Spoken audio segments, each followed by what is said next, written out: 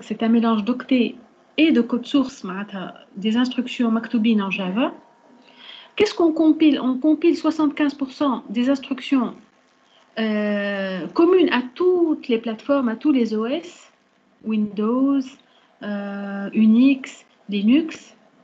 Et les 25% restants qui dépendent de l'OS au moment même où je vais exécuter, a un OS qu'on utilise pour la compilation et un OS pour l'exécution, eh bien, sont pris en charge par la JVM qui va terminer, entre guillemets, la compilation. Donc, elle l'interprète et elle lance le programme. Donc, si jamais ce programme a besoin de ce qu'on appelle des, classes noyaux, le core, ça veut dire le noyau, de la bibliothèque du noyau Java, eh bien, elle est chargée euh, au moment même de manière dynamique. Si une classe, au fur et à mesure qu'une classe fait appel à des classes, à d'autres classes de l'API, il va les charger. Donc on ne charge pas euh, tout d'un seul coup, c'est au besoin. Donc c'est ce qu'on appelle le chargement dynamique des classes. Donc c'est ce qui fait un petit peu, euh, c'est un langage orienté objet et c'est un langage interprété portable. Donc ça, on a fait l'introduction la semaine dernière. Euh, donc beaucoup de ces caractéristiques, il est, il est indépendant de la plateforme, il est dynamique, orienté objet, il est simple, il n'y a pas de pointeur, il est robuste, parce qu'il n'y a pas de pointeur et on va voir les exceptions? Euh, il est considéré comme étant un, langage robuste et sécurisé. Et si on a le temps, on va parler dans un chapitre des threads, c'est prévu cette année. Donc dans ce cadre-là, je vous ai envoyé un sujet, d'accord? Donc j'ai téléchargé les, vos réponses. Est-ce qu'il y a une question à propos du sujet de la semaine dernière? Alors, pour tout vous dire, c'est un sujet qui m'a été inspiré par, euh, euh, par, le web, donc, et je vais vous envoyer ici. Euh, le, corrigé, il se trouve ici, donc je ne reçois plus donc tout.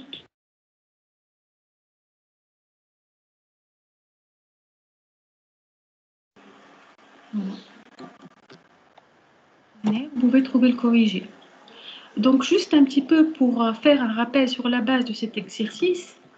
Donc euh, au départ, il y a toute une hiérarchie de classes. Donc ça met en évidence les interfaces, les classes abstraites, les constructeurs euh, par le biais de l'appel euh, super, et puis le polymorphisme. Et puis, ça, introduction, ça introduit un petit peu les tableaux. Donc, si vous voulez, on peut balayer très très vite la correction que vous pouvez étudier tranquillement chez vous. Vous avez la classe employée qui est abstraite. Ici, vous voyez, hein, je suppose que vous voyez l'écran. Vous avez le constructeur de la classe employée. Vous avez une méthode abstraite qui est calculer salaire. Vous avez une méthode concrète des titres qui retourne toujours la même chaîne. Et vous avez la méthode euh, public, string public string qui retourne le nom, d'accord? Alors ensuite, il y a une classe abstraite, encore une autre classe abstraite qui hérite de la classe commerciale, euh, pardon, qui s'appelle commercial et qui hérite d'employé. On va rajouter le chiffre d'affaires. On appelle le constructeur de la classe mère.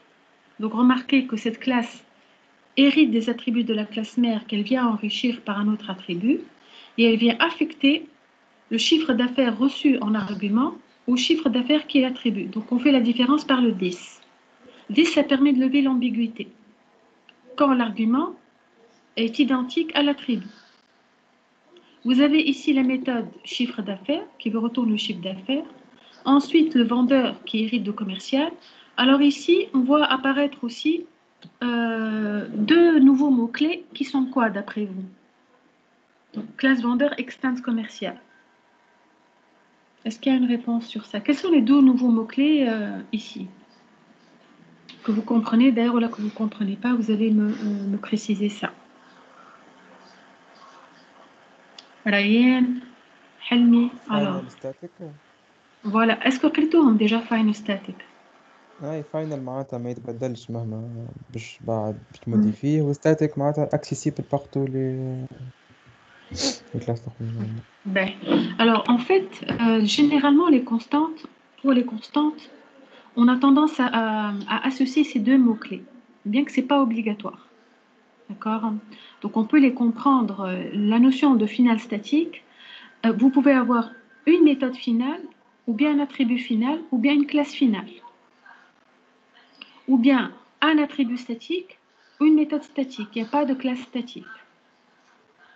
D'accord Alors, ce qu'il faut savoir, c'est que quand vous dites un attribut est final, d'accord, ça veut dire que nécessairement, il devient accessible uniquement en lecture finale, hein, statique. Donc, il faut lui donner une valeur dès la conception de votre classe.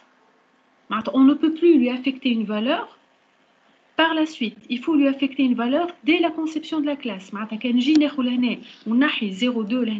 Ça ne compilera pas.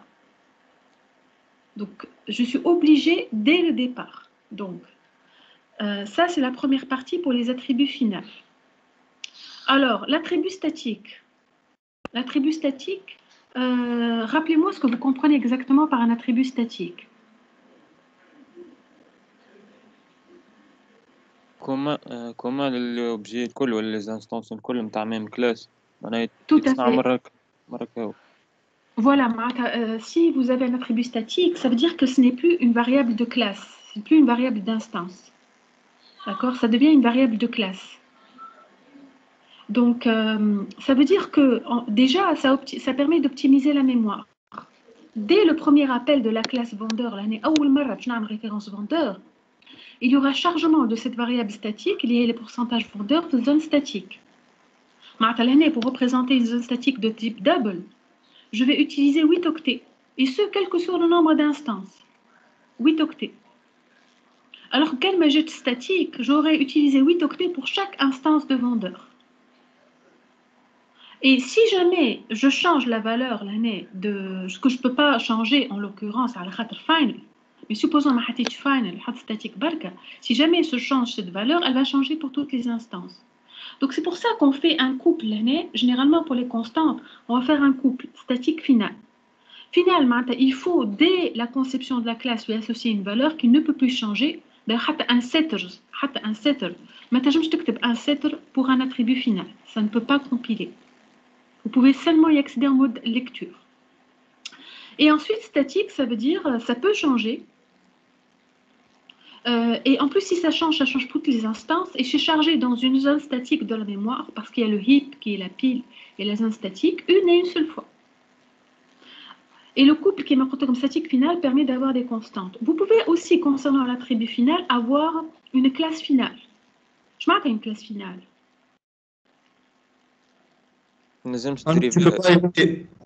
Voilà, c'est une, c'est une, c'est, euh, une classe terminale, donc on ne peut plus en hériter elle n'accepte pas de sous-classe. Alors, ça veut dire quoi une méthode finale? Voilà, tu as une redéfinition, d'accord? D'ailleurs, une méthode finale, vous perdez aussi la notion de lien dynamique. Qu'est-ce qui fait statique? Il n'y a pas de lien dynamique. Même si une méthode statique est polymorphe, le lien est établi à la compilation. Là, je m'en des exemples, les QC. Euh, donc, je reprends. Une classe finale est une classe qui ne peut pas être sous-classée. Euh, un attribut euh, final est un attribut auquel on doit fixer une valeur et qui ne, dont la valeur ne peut plus changer. Et ensuite, alors vous pouvez avoir un attribut statique ou une méthode statique. Une méthode statique, ça veut dire quoi?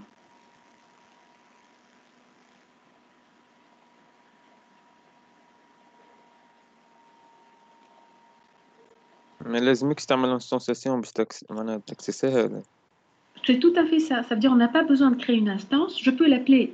C'est possible, ça reste possible par rapport à une instance, mais on peut l'appeler directement par la classe. As-tu un exemple Compteur.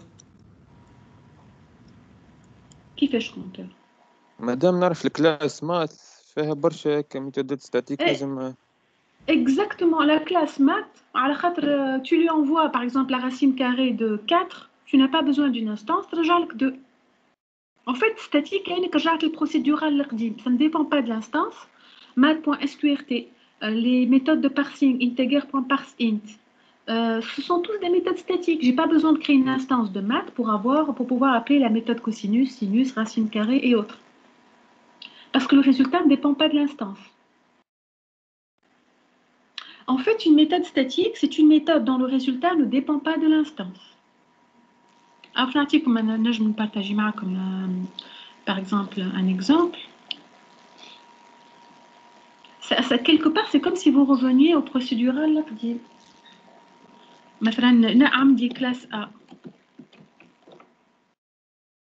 هنا عندي int A عندي آه، int A virgule B voilà virgule B c'est ça عندي آه، public int add int D int D plus D Est-ce que vous pensez que cette méthode add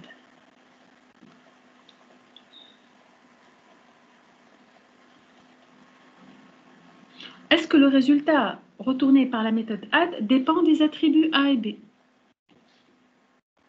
Non. il dépend uniquement de ce que je lui passe. Donc, il y a une crue procédurale des arguments. Donc, si jamais j'ai une instance 1, une valeur A et B, 2 ou 3, ou instance 5 ou 6, quel que soit l'état A et B, le résultat de la méthode add ne dépend pas de ces valeurs-là, il dépend uniquement des arguments. باش تقمروا، مش حكاية قمع, C'est une question de compréhension. Donc, ce genre de méthodes, ce sont des méthodes qu'on peut mettre en tant que statiques. Ce qui fait que par la suite, dans un programme, bon, je ne vais pas écrire un programme, je peux très bien appeler a.add, euh, 6 la 7, ça me retourne un int i, int i, ou elle, je peux faire une instance a petit a égale à new a, bon, là, je me base sur le cons- et je peux appeler a.add de, هنا je حتى نعاود نعمل pas 6 et 7. D'accord int i2. On peut l'appeler par rapport à la classe, mais on peut encore l'appeler par rapport à une instance. Mais de préférence, on l'appelle toujours par rapport à la classe pour éviter toutes les ambiguïtés. Donc, quelle que soit l'instance que je vais créer, la valeur des attributs A et B, ça ne change pas. Donc on peut avoir une méthode statique. Sachez que les méthodes statiques, l'édition de liens fermes, elle est statique. Contrairement au polymorphisme, le lien n'est pas tardif. Dès la compilation, il va chercher cette méthode-là, d'accord, et il va établir un lien. Même si elle est polymorphe, il établit un lien par rapport à la référence. Vous avez compris la différence?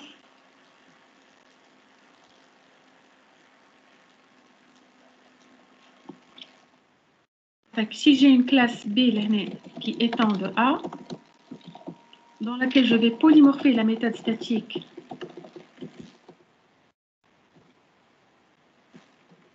euh, C traja C fois D, je dis n'importe quoi, hein, pas n'importe quoi, mais ça change, euh, ça retourne la multiplication. D'accord? Et si je fais la méthode, je fais A petit a égale à new B, vous savez que c'est possible? Une, euh, la référence porte le nom, euh, porte la, est de type A qui pointe vers un objet de type B. Et quand je fais A.AB, le lien est établi par rapport à la référence. Grand A, le lien n'est pas tardif. C fois D.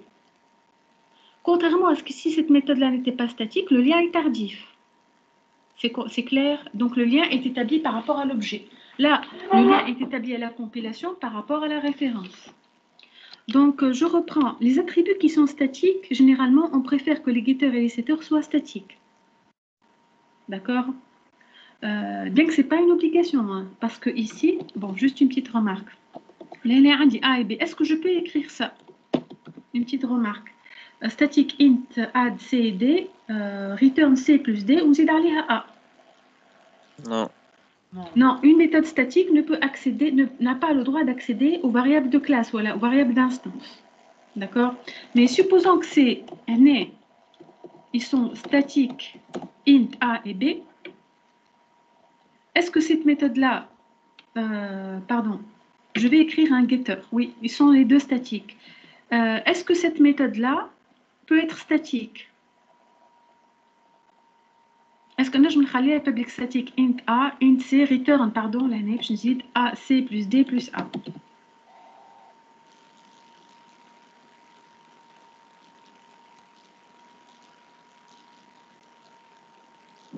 Oui ou non?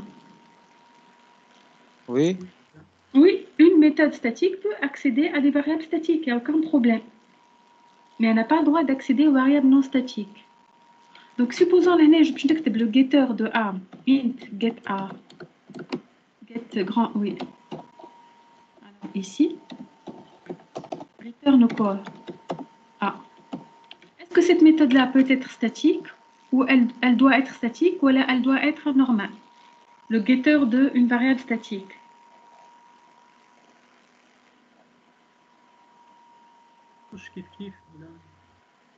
Ma question, est-ce que ça compile ou pas Et kif kif, c'est-à-dire Oui, oui.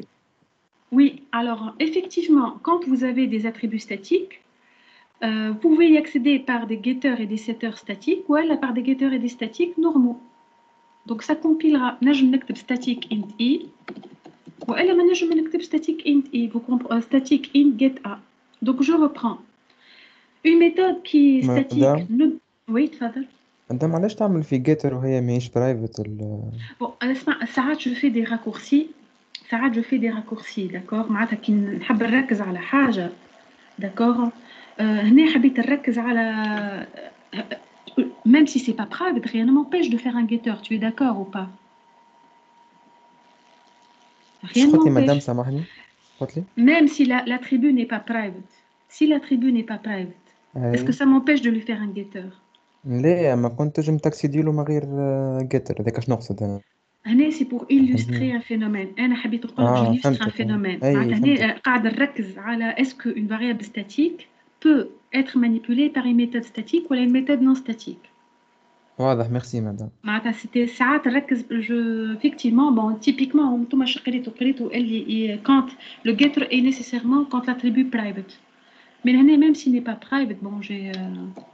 je peux effectivement écrire private static int. Donc là, mais attention, si vous avez une variable finale int j, vous êtes obligé de lui affecter une valeur, sinon ça ne compile pas. C'est des vous ne pouvez pas euh, lui, lui, faire un setter, d'accord? Public void setj. Je mouche 7j int j, 10.j égale j, ça ne compilera pas.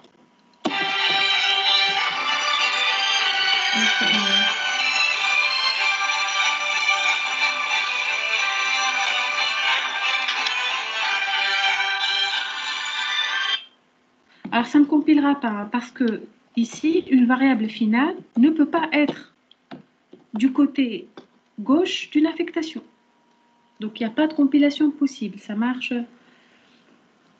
Donc, c'est un petit peu l'idée des... Alors, juste, je voulais attirer votre attention. Sur les méthodes statiques, le lien est établi à la compilation. Kif kif les méthodes finales, le lien est établi à la compilation. Le lien n'est pas tardif. L'année, on retrouve donc le constructeur de la classe vendeur.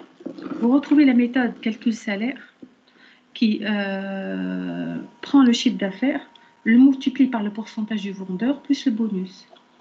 Il y a redéfinition de la méthode getTitre.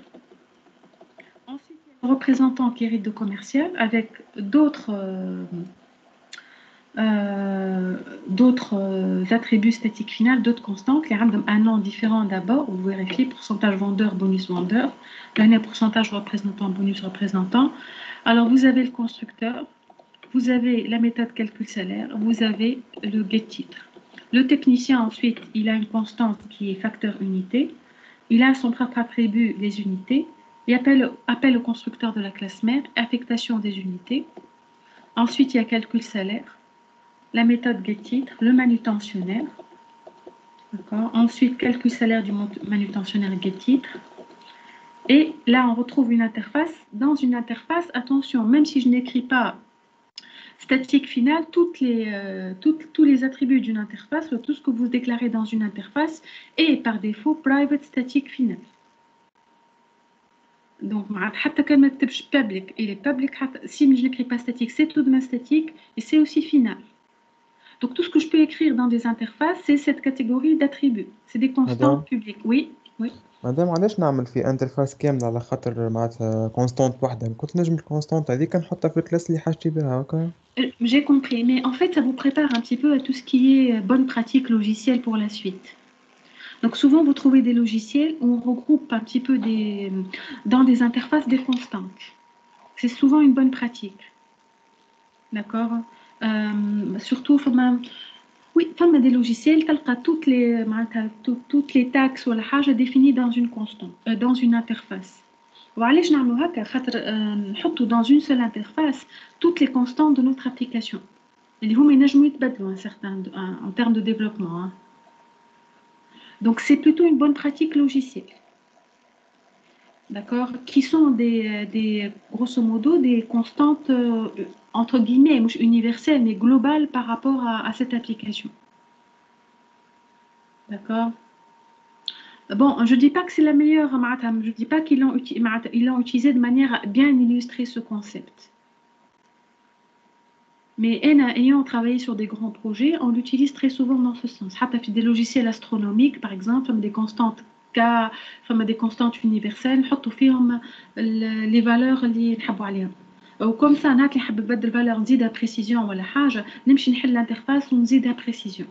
Mais elle n'est pas embarquée quelque part dans le code. J'espère avoir répondu à ta question euh, pour plus de clarté. Alors, le technicien à risque. on trouve un bon exemple de super, le super pour appeler le constructeur de la classe mère, ou le super quand la méthode est polymorphe. Il appelle le calcul prime de la classe mère, ou à la prime. Donc, qui a été, l'année implémente interface à, l'interface euh, à risque donc qui permet un petit peu de bénéficier de la prime, de pouvoir utiliser la prime directement. L'intérêt ici, c'est qu'on peut implémenter plusieurs interfaces, donc ce n'est pas bloquant. D'accord? Alors, euh, Kif Kif, euh, manutentionnaire à risque, il implémente l'interface à risque, donc ça permet de manipuler la prime et il hérite de manutentionnaire. Kif Kif, le super pour appel le constructeur et le super point pour calculer le salaire. Ensuite, on arrive un petit peu à, la classe personne. Donc ici, vous avez une première catégorie de, collections. On va faire un chapitre sur les collections. Euh, euh, on a utilisé ce qui est de plus basique pour les collections, les les tableaux. D'accord? Le tableau, il se déclare de la manière suivante. Vous avez le staff. Ici, c'est la référence. On n'a pas encore instancié le tableau. C'est important d'avoir le compteur du nombre d'employés parce que contrairement à d'autres collections, la taille, euh, voilà, le nombre d'objets que je vais mettre dans le tableau ne s'incrémente pas automatiquement. Vous allez voir qu'avec d'autres collections qui mettent le vector ou le map, etc., vous n'avez plus besoin de manipuler le compteur. Ensuite, vous avez une constante qui est le maximum d'employés gérés par cette entreprise. Là, il y a dans le constructeur zéro argument effectivement une instanciation du tableau. Ici, le tableau est encore à nul. On mise à zéro du compteur, même si par défaut les attributs sont à zéro, mais on va le mettre explicitement à zéro. Alors, ce qui est intéressant ici, c'est que dans j'ajoute employé, on incrémente le compteur, plus plus nombre d'employés. Euh, donc, on l'incrémente après avoir normalement euh, ajouté l'employé. On, incrémente le nombre d'employés. Si on a dépassé la taille, si on n'a pas dépassé la taille, alors euh, je mets effectivement ce qui est intéressant, c'est qu'il a incrémenté pour vérifier qu'il ne dépasse pas. Après, il fait moins 1 parce qu'il commence à 0 et il met E. Et sinon, eh ben, il affiche un message euh, pour éviter d'induire en erreur en disant je n'arrive pas, on a atteint la taille limite. Le salaire moyen, c'est là où on voit la force du polymorphisme. Calculer salaire est appelé par rapport à staff de i. Ici le lien est établi euh, dynamiquement, il va vérifier que calculer salaire existe où l'année Calculer salaire, le compilateur vérifie que ça existe où?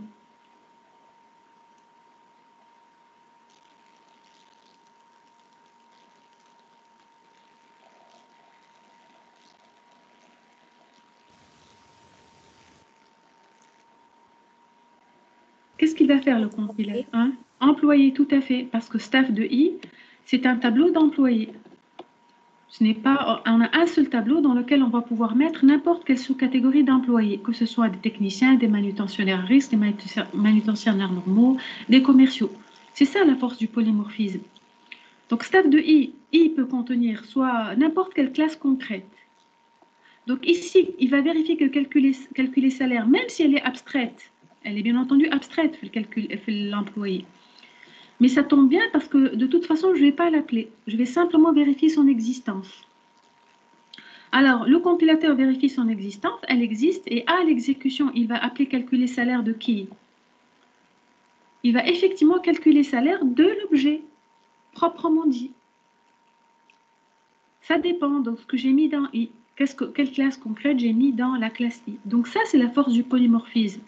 C'est le résultat dépend de l'objet qui est réellement dans la IM case. Et à la fin, il retourne la somme divisée par le compteur, hein, ce n'est pas la taille maximale. Parce que je peux avoir un tableau de, de 200 employés, mais en réalité, je n'ai rajouté que, euh, que 10 employés. Kif Kif l'année remarqué l'intelligence de mettre employé pour la méthode ajoutée employé. Je n'ai pas une méthode ajoutée euh, manutentionnaire, ajoutée technicien, etc. Donc c'est ce qu'on appelle le upcasting. Je peux toujours désigner, utiliser une référence de haut niveau qui est l'employé et lui passer des objets de plus bas niveau. C'est le upcasting. Donc l'année, quand je vais appeler la méthode ajoutée employé, je vais lui passer, je peux lui passer n'importe quel objet qui hérite d'employé. Donc les, objets peuvent porter la casquette d'une classe mère. Donc ça, ici, c'est la force du polymorphisme. Kif kif l'année affiché salaire. Donc je vais balayer euh, jusqu'au compteur nombre d'employés. Et je vais faire ici euh, appel à la méthode getNom, gagne, calculer salaire franc. Donc ça fait, euh, effectivement, c'est une mise en œuvre du polymorphisme. Puisque les méthodes getNom et calculer salaire existent existe dans la classe employé. Mais sauf qu'à l'exécution, il va appeler getNow de l'objet à proprement dit. Et là, vous avez effectivement un main où j'instancie la personne, je rajoute le premier employé, le deuxième, le troisième, quatrième, etc., en respectant à chaque fois les constructeurs euh, utilisés. J'appelle P pour afficher salaire qui m'affiche le détail des salaires et ensuite j'affiche la moyenne des salaires dans l'entreprise.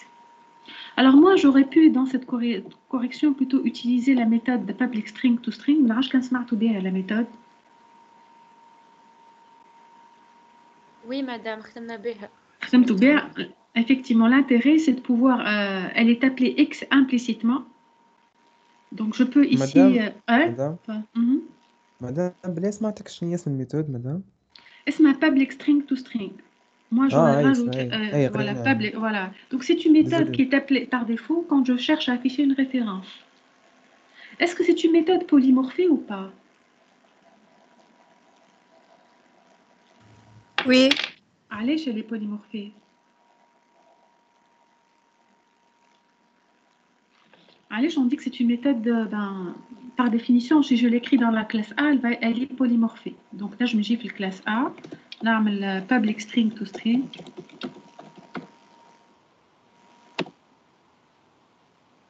خاطر هي ديفيني ديجا قبل فين défini Une classe objet. Le classe objet. Donc, effectivement, vous savez tous que la classe object, c'est la classe mère de toutes les classes. Donc du coup, ça nous amène un petit peu à, faire un, je vais vous demander à télécharger le, Javadoc. C'est un fichier JAR que j'ai dézippé ici. Donc vous pouvez le télécharger sur le site Oracle.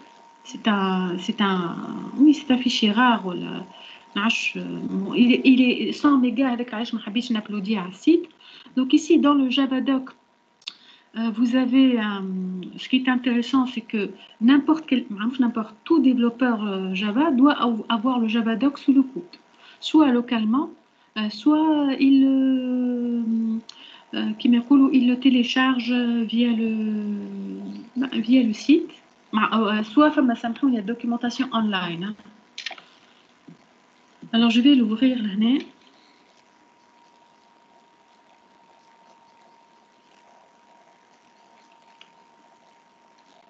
Donc, Aîné, quand vous la dézippez, vous avez un point d'entrée qui est le fichier index.html. Simplement pour vous montrer comment est-ce que le Javadoc euh, euh, est organisé. Donc, il vous donne un petit peu une idée sur toute l'arborescence des classes. Si c'est une, tous les attributs, voici un petit peu le point d'entrée de la. Ça, c'est la Javadoc à la version 8. Ça, c'est le index.html. Donc là, c'est toute la, la plateforme Java qui est décrite. Ce qui m'intéresse, c'est plutôt d'aller dans le- les specs. Donc à chaque fois, euh, Java Language normalement, je clique sur le Java Language. Alors ensuite, je vais dans les spécifications du langage.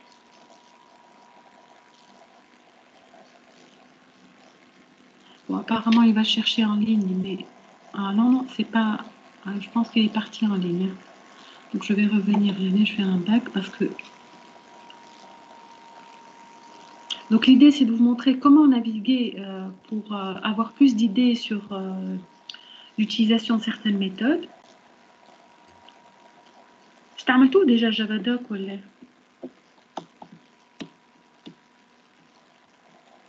Alors, juste, je cherche un petit peu le, alors, le Java langage.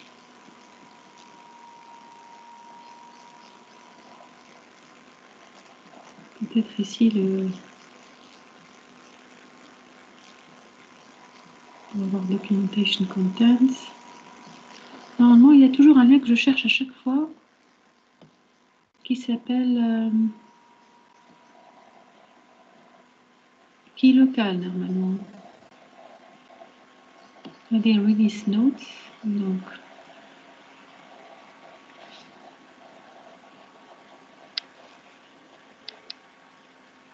documentation accessibility, peut-être c'est celui-là.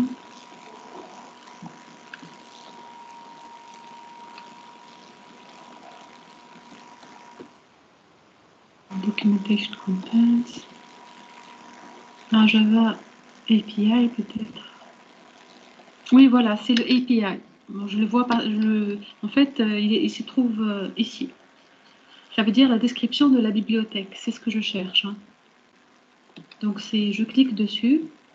Je reste toujours en local. Vous avez une organisation en trois volets l'ensemble des packages, l'ensemble des classes et ici à l'intérieur euh, une description plus précise. Là, ça décrit tous les packages. Par exemple, je cherche la classe string. Donc, je cherche euh, la classe string qui se trouve euh, dans le package Javalang, les bases du langage. Hein. Ici, vous avez le Javalang. Voilà, toutes les classes du Javalang, toutes les interfaces du Javalang. Donc vous avez les classes, vous, savez très bien qu'on n'a pas besoin de faire un import du Javalang. C'est un package qui est importé par défaut. Donc je cherche la classe string. Ça, c'est des exceptions, des erreurs. Alors voici les classes. Voilà. La classe string. Ça n'a rien à voir avec la méthode toString. Hein. Alors pour simplement vous montrer que la classe string hérite d'objets. Toutes les classes, là vous avez l'arborescence la classe que vous cherchez, Kirit Object, c'est le cas de toutes les classes. Toutes les méthodes qui sont implémentées par cette interface, par la classe string, pardon, serializable, qu'on va voir cette année, Charles Sequence comparable aussi qu'on va essayer de voir. Et vous avez des exemples. Ce qui est intéressant aussi, c'est que vous avez la liste de tous les constructeurs et de tous les champs. Tous les champs, tous les constructeurs et ensuite toutes les méthodes. All methods. Et ensuite, dans les méthodes, vous avez les méthodes statiques, vous avez les méthodes d'instance, vous avez les méthodes concrètes, et vous avez les méthodes qu'on appelle duplicated, les vieilles méthodes vous pouvez encore utiliser, mais qui sont déconseillées. D'accord? Méthode statique, ça veut dire que je peux toujours l'appeler par rapport à la classe. D'accord? Par exemple, formater une date. Je n'ai pas besoin de créer une instance pour euh, value of. Je lui passe un float et il me retourne euh, return the string representation of the float argument. Donc en cliquant ici, je vais avoir une description plus détaillée. Donc je vois la signature de la méthode, elle est statique. Qu'est-ce qu'elle prend comme paramètre, argument, et qu'est-ce qu'elle retourne? Kif kif, euh, le math par exemple, la classe math, c'est une classe qui hérite d'objects, c'est une classe qui est finale, donc on ne peut pas euh, sous-classer. Et euh, c'est une classe qui se trouve dans le Javaland. Vous avez l'ensemble des attributs, l'ensemble des champs. Donc vous avez un statique double E On va voir un petit peu euh, pour les... Euh, vous pouvez cliquer sur le détail pour en savoir plus. Et vous pouvez aussi, pi, par exemple, pi est une variable statique, double, d'accord, de, la classe math. Et ensuite, elle est finale. Ça veut dire qu'on n'avait pas le droit de modifier. Quand vous utilisez math.pi, vous, vous ne pouvez pas changer cette valeur qui est prédéfinie. D'accord dans, dans, dans pi. Dans math, pardon. Alors, généralement, vous avez euh, donc kiff kiff toutes les méthodes, les méthodes statiques. La majorité sont statiques. Est-ce qu'on a des méthodes concrètes? Oui, on a quand même quelques méthodes. Tiens. Euh, apps. Non, elles sont toutes normalement statiques. Hein. Je ne sais pas pourquoi quand je clique sur statique, normalement, il n'y a pas de... Les static methods, concrete methods. Elles sont toutes statiques. Hein. Normalement, il y a un petit bug parce que normalement, quand je clique sur statique, il ne peut pas y avoir de... A pas de méthode euh, concrète. Donc, on ne peut pas être un développeur Java qui n'a pas sous le coude de soit installé sur sa propre machine ou qui utilise, euh, qui utilisent euh, l'API Java à distance, en ligne. Donc, nageons un petit peu l'exercice. Donc, oui, la méthode toString, allez chez les polymorphées, parce que si je vais cliquer dans le, Javadoc, Javadoc à la classe mère qui est la classe object, donc je peux cliquer les Donc, on va voir quelles sont les méthodes de object. Donc, c'est une méthode public string to string quand je clique dessus. Public string to string, c'est une méthode de la classe mère object. Donc, par définition, euh, dès que vous l'écrivez dans une sous-classe, elle va être polymorphée. Et si vous ne la polymorphez pas, voici ce qu'elle fait par défaut. Elle retourne le nom de la classe, elle rajoute un arrobas et elle fait un h, euh, elle retourne le hashcode. On va voir à quoi sert le hashcode. En fait, une sorte de, transformation en, un code de, l'objet. Donc, chaque objet possède un code unique ou garantir euh, l'authenticité de l'objet. Et d'autres méthodes qui sont plutôt liées, on va voir, à la programmation, qui mène notify ou wait. Euh, là, c'est une méthode aussi très très intéressante, equals. Euh, ici, equals dans la classe mère permet de comparer des objets sur la base de leur hashcode. mais vous, serez aussi amené à la polymorphie pour comparer est-ce que deux commerciaux sont identiques ou les deux vendeurs sont identiques. Alors l'intérêt, c'est que euh, euh, plus tard dans les collections, si je cherche est-ce qu'un objet se trouve dans cette collection ou pas, la recherche va se faire sur la base de equals. Si j'ai une collection d'employés, on dit un employé Ben je veux chercher s'il existe dans la collection ou pas. En fait, la méthode de recherche, par exemple le vecteur, euh, qu'on va voir ultérieurement, va se faire par défaut sur l'égalité dans la méthode equals. Donc il suffit de redéfinir, de dire comment est-ce que deux employés sont égaux, et automatiquement, quand je fais une recherche dans Vector, il va voir si il existe un employé dans cette collection identique dans le sens de la méthode equals. Mais ça, on va revenir dessus. Euh, donc, je voulais un peu, voilà, vous parler de, voilà, en fait, moi, j'aurais fait, j'aurais fait quand même la méthode public string to string pour pouvoir afficher euh, le contenu du tableau correctement. Surtout que c'est une méthode qui était extrêmement utilisée. Quand je fais un système out println, l'employé est vert. Si je lui donne une référence, V, vendeur V égale à new vendeur, bah, système out println V, et eh ben, il va appeler par défaut la méthode toString de V. Alors j'espère que le rythme... Euh, bon. Alors tout ça, c'est bon pour faire le lien avec l'exercice qui a été donné. J'ai aussi téléchargé euh, le livre qui est utilisé, je pense, par tous les groupes GL et RT pour la certification. Alors ce livre-là, il, euh, il contient 10 chapitres, de 1 à 10. Euh, donc on ne va pas parler du chapitre 1 à la c'est vraiment le béaba du langage. Hein. C'est euh, comme d'ailleurs il est uploadé. Donc c'est un peu le, le béaba dans le sens... Euh,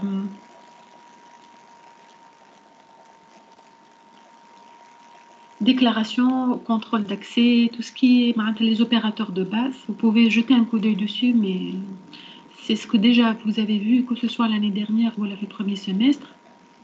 Ensuite, euh, votre deuxième chapitre, euh,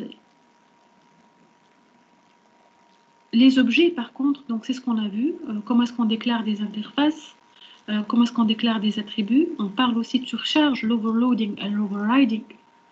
Alors, l'overriding, la surdéfinition, donc la méthode, ça nécessite un contexte d'héritage. Donc l'oulani, c'est de la surcharge, overloading. Overriding, c'est la réécriture ou la surdéfinition. Wahda nécessite un contexte d'héritage ou fait le lien tardif. Ou l'autre, les signatures doivent être différentes. les signatures, le nom des méthodes doit être différent. Le nom, hein, mouche la signature, et ça ne nécessite pas d'héritage. Et le lien n'est pas tardif.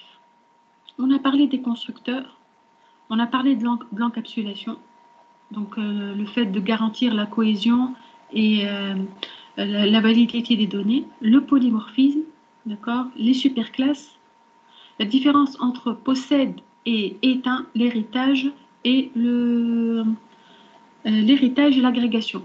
Quand, par exemple, un employé possède une adresse, has mais un commercial est un employé, is.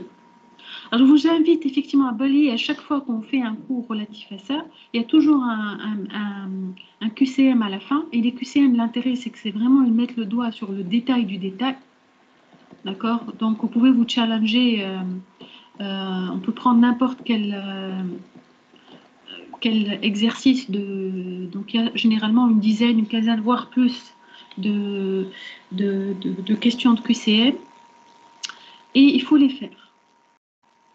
Euh, donc, euh, par exemple, si on prend cette question-là, which statements are true? Choose all that apply. Has a relationship always relies on inheritance? Has a relationship always relies on instance variable? Has a relationship al always require at least two class types? And so on, d'accord? Donc, je vais vous laisser voir un peu tranquillement. hein. Euh, ici, c'est un peu de la concentration parce qu'on ne peut pas le traduire en français. Voilà, je vais vous laisser le voir euh, tranquillement tout seul. Mais par exemple, il y a des classes qui sont plus basées sur le codage. Par exemple, euh, si je prends ces trois classes-là, le Cleaders, Cleaders, Cleadlet, Extends Cleaders, quel est le résultat de, du mail? qui appelle flipper Est-ce que c'est flip, clédlet, flip, cléder, flip, cléder, etc., etc. Donc d'après vous, est-ce que vous pouvez vous concentrer ou là, vous pouvez le faire tranquillement chez vous? On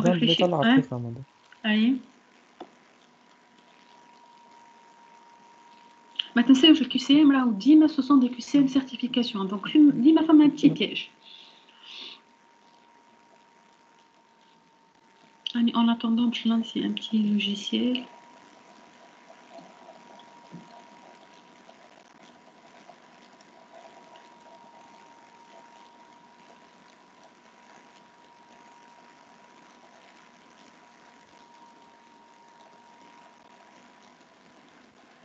Alors, qu'est-ce que ça va afficher d'après vous?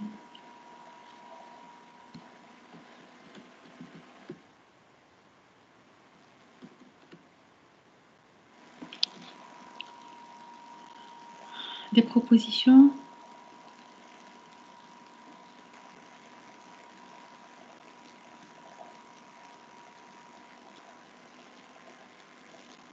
Déjà, فما une méthode qui est finale, elle est flipper, d'accord Déjà, نلاحظوا وفليبر elle est polymorphée. في الكلاس فيه كليدلات elle est polymorphée لهنا donc لهنا كليدلات فما euh, est-ce que les polymorphes flip Oui, flip. Euh, est-ce que déjà on peut polymorpher une méthode finale? Non. Non. Donc, moi, je dirais qu'il y aura une erreur de compilation. D'accord? Allez, je rate la méthode est finale. Vous pouvez aller, euh, on peut toujours vérifier. Hein, il y a des pièges ou il y a des choses qu'on ne voit pas ou qu'on oublie. Donc, normalement, réponse à le QCM à la fin. Oui, what is the result Alors, Pierre.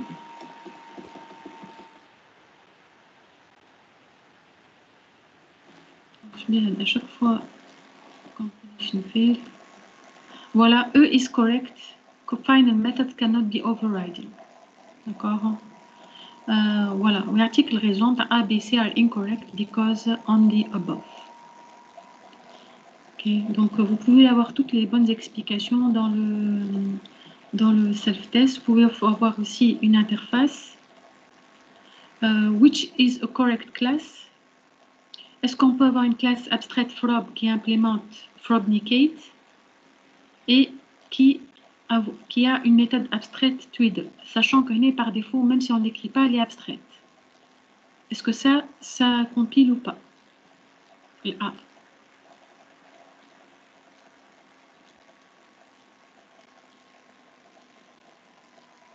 Alors oui ou non Ou vous pouvez... ou- C'est un peu مدام rapide. مش لازم نقولوا انترفيس في التويدل آه، في ال- سامحني في ال في الفروبليكيت هاي interface هاي interface c'est une interface définition ah, ah, donc on a une classe qui implémente cette interface et qui est abstraite. Vous savez qu'à partir du moment où une classe implémente une interface elle est obligée de coder toutes les méthodes de cette interface. Sans que sauf que l'année elle la garde euh, abstraite. Elle n'est pas abstraite ça est-ce qu'elle est abstraite l'année? Déjà femme une accolade ouvrante une accolade fermante oui ou non? Oui, elle est abstraite? Donc, est-ce que cette euh, option-là compile? Non. je, je reviens.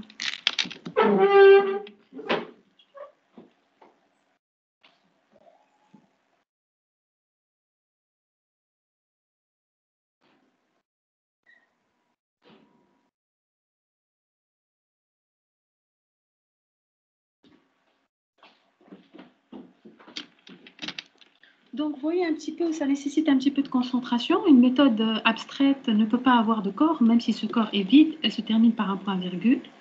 Donc, A est faux. B, euh, B pardon. Là, vous avez abstract class from implement replicate. Est-ce que ça, c'est euh, true ou false? Est-ce que ça compile ou pas? Oui. Oui, parce que c'est une classe abstraite. Elle hérite d'une méthode abstraite provenant de l'interface. Elle n'est pas obligée de la coder. Troisième cas, c'est est-ce que ça, ça compile ou pas?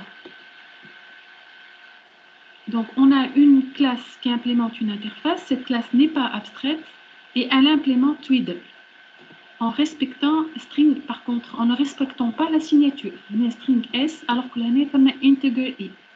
Est-ce que ça compile ou pas? Non, non. Non, ça ne compile pas. Donc, on a pour l'instant qui compile le D. Troisième, le D maintenant, frob, implement shrubnike, twiddle, integer i. شنو الفرق بين هذه وهذه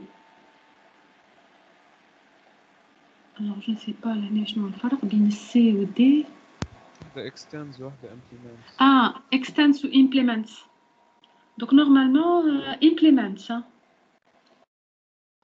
donc non euh, kif kif ça ne compile pas d'accord? Donc ça ne compile pas d'ailleurs euh, pour deux raisons normalement on verra, d'accord? Ça ne compile pas. Integer i ou dit string s. Et ensuite, vous avez la classe prop, implement Robnicate, qui a twiddle string i, integer s. Est-ce que celle-là compile ou pas? Oui. Oui, parce qu'elle euh, elle redéfinit cette méthode qui nous intéresse. Donc, oui, le E ou le B normalement. Le B ou le E d'accord Donc ici, نلقاو البي والاو كي سون كوريكت مدام إيه. مدام علاش البي صحيحه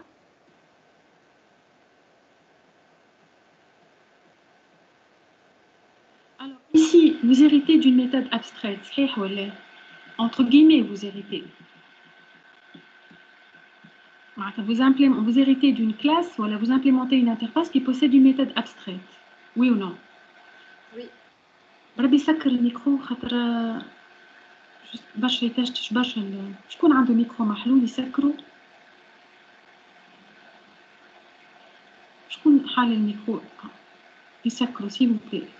مادام حتى حد ما حال الميكرو مادام انت بيسي ملا- نتاعك برا ما أنا- يخرج في ال اه العكس. نح- نحس من ناحية الصون داكور في بالي ناحية الصون تاع البيسي ولا بون تو نرجع نحي الصون تاع البيسي Donc je vais couper le son du PC. Pourtant, عملت entrer sans... euh, Bon, en tout cas, ici, vous avez euh, une classe abstraite. D'accord qui, implémente ou elle, indirectement elle hérite de méthode abstraite, l'hygiène de l'interface. Comme elle est abstraite, il n'y a aucun problème à ce qu'elle hérite de méthode abstraites. Tu comprends? Elle n'est pas obligée de redéfinir la méthode TWID. N'oublions pas qu'une classe abstraite peut contenir des méthodes abstraites. Donc indirectement, elle hérite du méthode abstraite et ça ne pose aucun problème. Ismaël, madame, mademoiselle. Hey, madame, c'est bon. Merci. Ok, ben, ben, ben, j'ai tendance, tant que je n'ai pas reçu de confirmation. Mais je pense que. Euh, alors, je vais essayer de couper le son, je n'y arrive pas. Alors.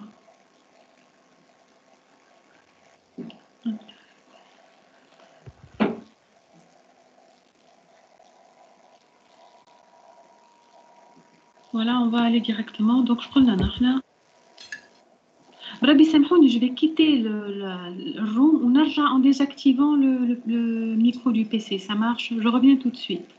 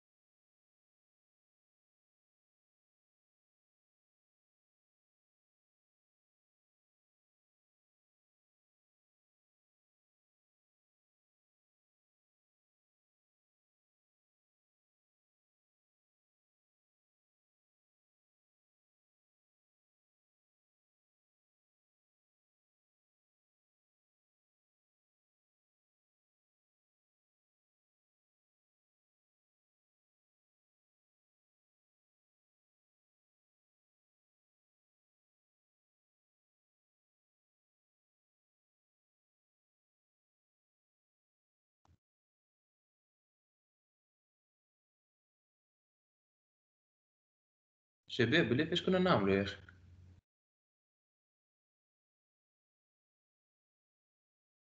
صلحت إكزرسيس نتاع الكونت روندو وعملت كيلكو سي.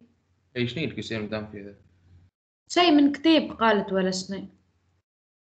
ما في حد ما عندوش حتى علاقة معناها بحد شيء.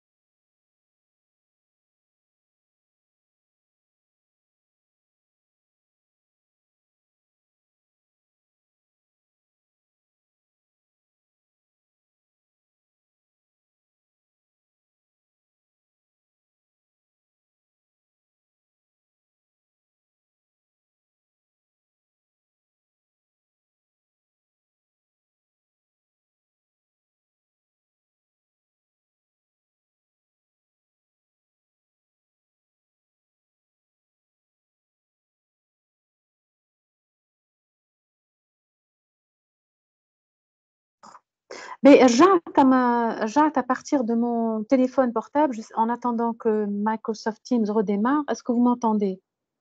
Oui, madame, hein. Donc, je suis en train de redémarrer le PC.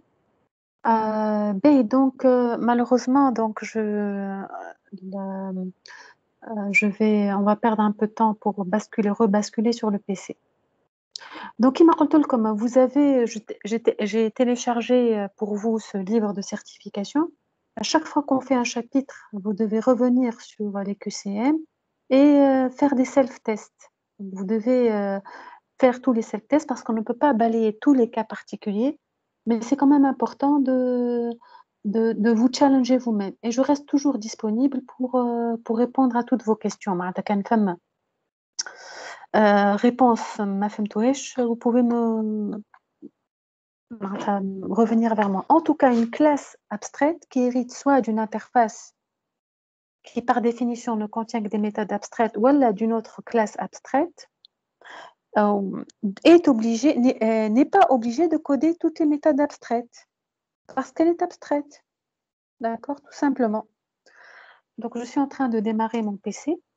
Alors l'objectif de Nash, si vous avez des questions euh, euh, donc l'objectif de la, séance un petit peu d'aujourd'hui, c'était euh, un petit peu de parler d'un mécanisme.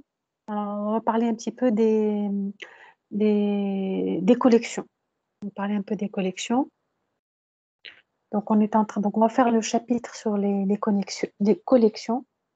Alors, ça veut dire les quoi les collections? Ça veut dire tout ce qui va vous permettre un petit peu de manipuler un grand ensemble d'objets euh, avec le langage Java. D'accord? Et souvent, les collections vont à marcher conjointement avec la généricité. La, la généricité. Alors, la, la, méthode la plus basique pour faire des collections, c'est les tableaux. Mais on ne considère pas ça réellement une collection. Parce qu'il y a une classe mère qui s'appelle collection, euh, collections, pardon, S, et une interface collection pour Java. Et les tableaux, en réalité, c'est vraiment ce qu'il y a de plus élémentaire pour manipuler un ensemble d'objets.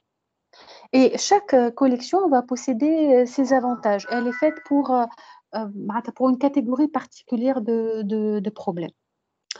Alors, on va donc démarrer Microsoft Teams à partir du PC pour pouvoir partager avec vous le chapitre qui nous intéresse.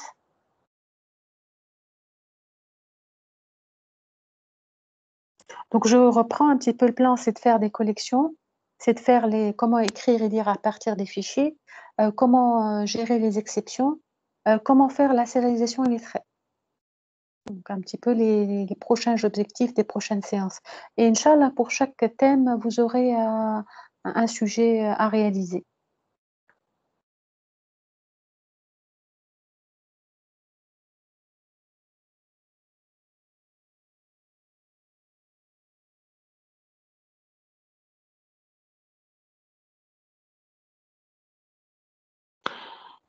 Ben, c'est un peu dommage.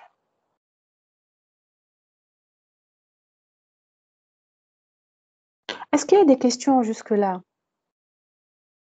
Alors, je vais vous parler un petit peu d'une collection. En attendant à Samhouni que ça démarre, c'est la classe Vector. Est-ce qu'en faisant une petite recherche rapide sur Internet, quelqu'un peut me dire euh, euh, à quel package appartient la classe Vector en Java? Donc, je rappelle que souvent dans les examens de TP, je donne des questions du genre à quel euh, citez-moi des, des, méthodes d'une classe, à quel package appartient cette classe pour voir, pour être sûr que vous connaissez et vous savez naviguer dans la Javadoc. Alors maintenant, dites-moi à quel package appartient le, le.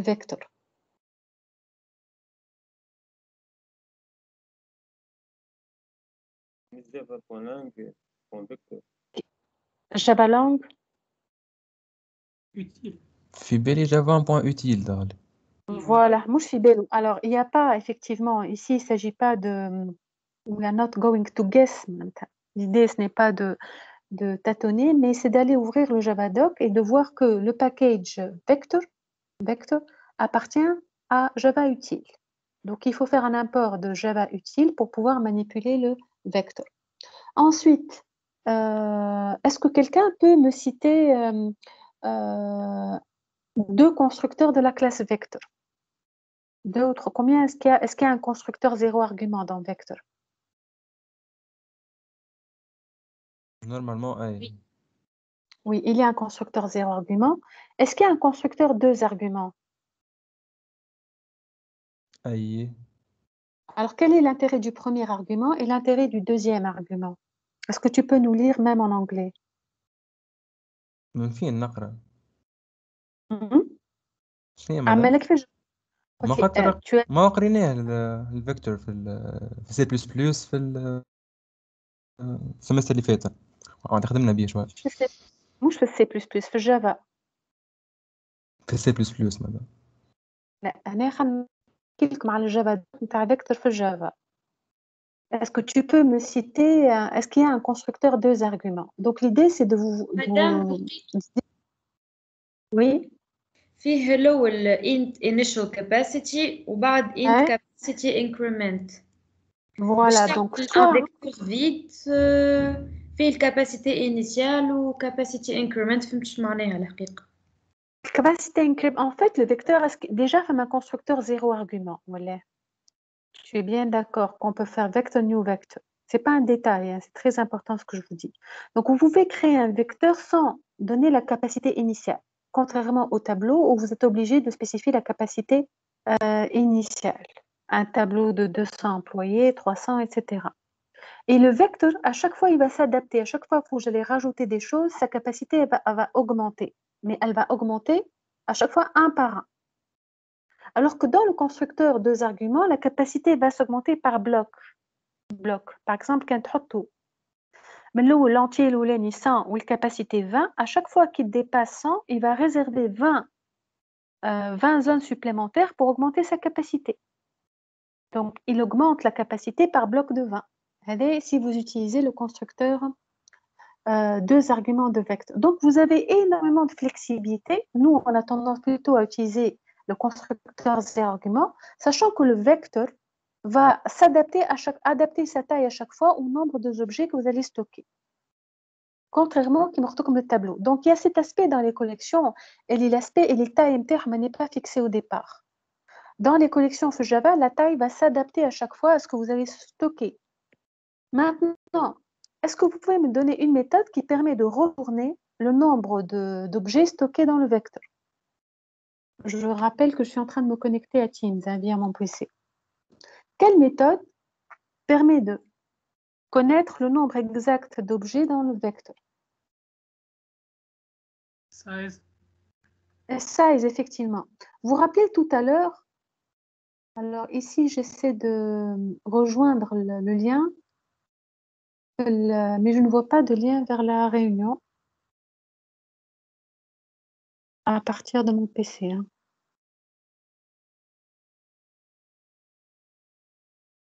Parce que normalement, euh,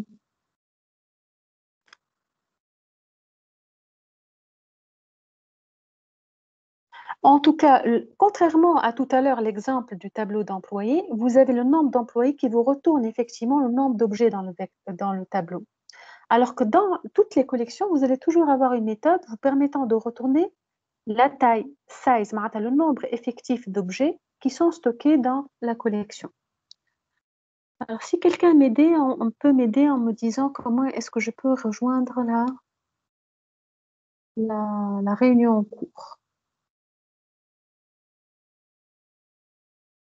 Normalement, تشوفوا rejoindre انتوما ولا مدام تعالي ما تنجمش تدخل بدوز اباري من نفس الكونت لا ماهيش لا سي سي ان فيت لا لا سي سي عندي ان فيت كنت على ليكيب آه. الغلط هيك علاش ما شفتش آه، جربتها ديجا اون بو الفير كنت sur la mauvaise équipe donc je vais faire rejoindre voilà je vais vous rejoindre à partir de mon PC Donc, je vous rebascule sur le PC hein. micro et haut-parleur désactivés son de l'ordinateur je vais le supprimer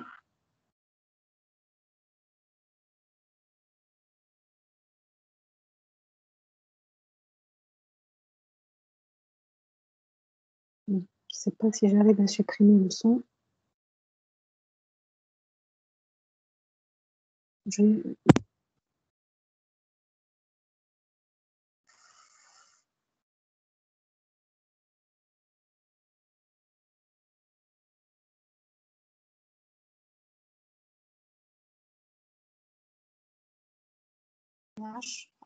C'est une sous du super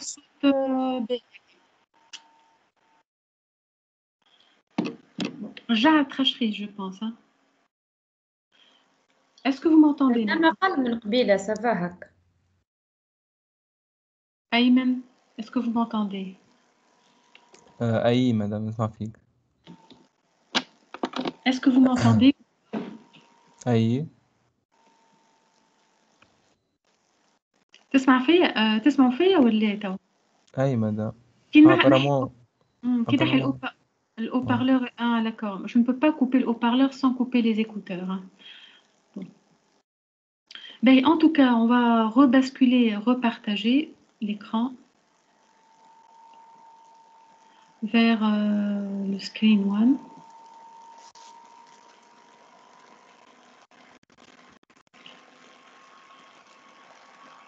J'essaie de diminuer le son.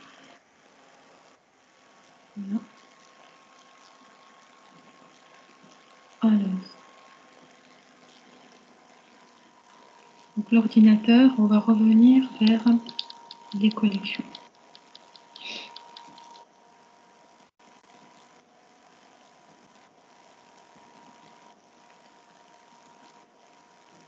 Donc chapitre 3, je compte sur vous pour aller euh, rebalayer le chapitre. On a vu l'essentiel.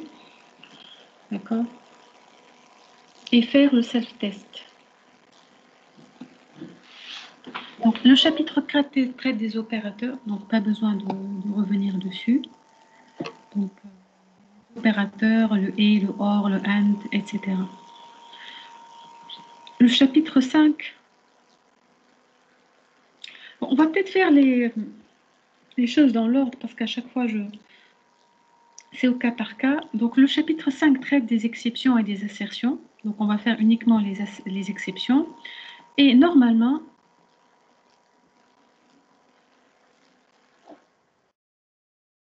chapitre 6 traite des chaînes de caractères, des entrées-sorties, du formatage et du parsing. Donc, comment écrire et lire dans des fichiers, principalement, c'est ce qui nous intéresse.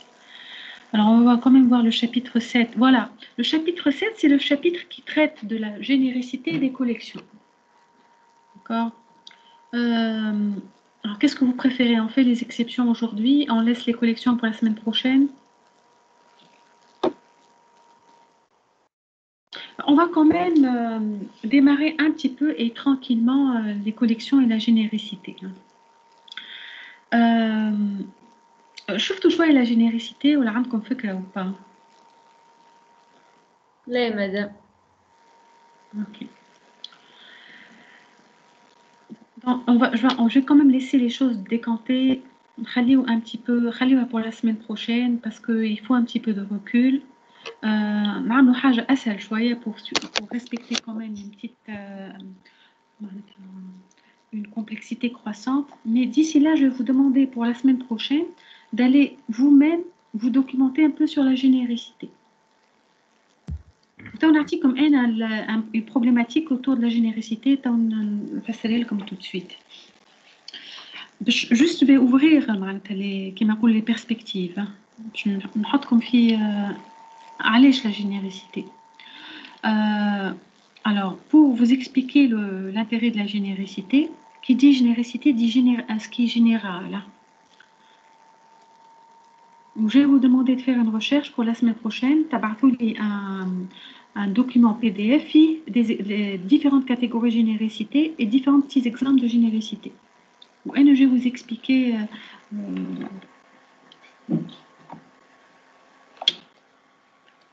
l'intérêt des générosités, pas tous les intérêts, mais un des intérêts de la, gé- de la générosité. Alors, notamment, aller chez générosité, sou- souvent, souvent, elle est liée aux collections. Comme tout à l'heure, vous avez une classe. Tout à l'heure, euh, il y avait la classe société, qui mère fait l'exemple, qui contient l'ensemble des employés. L'ensemble des employés était plutôt dans le tableau. Mais au lieu des tableaux, on peut utiliser euh, le staff du type vecteur. Que dans la société, tout le partage. hein.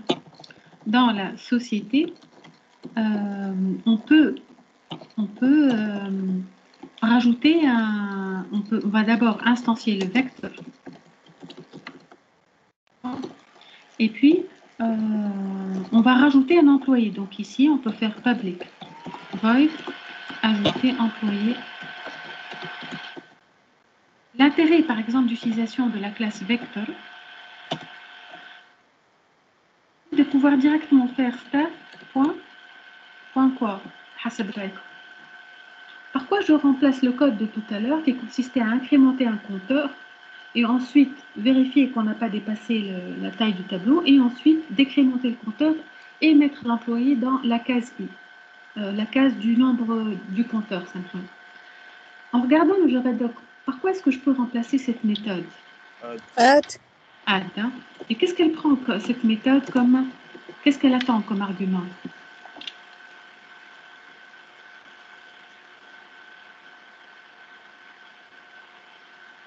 Add, elle prend quoi Hein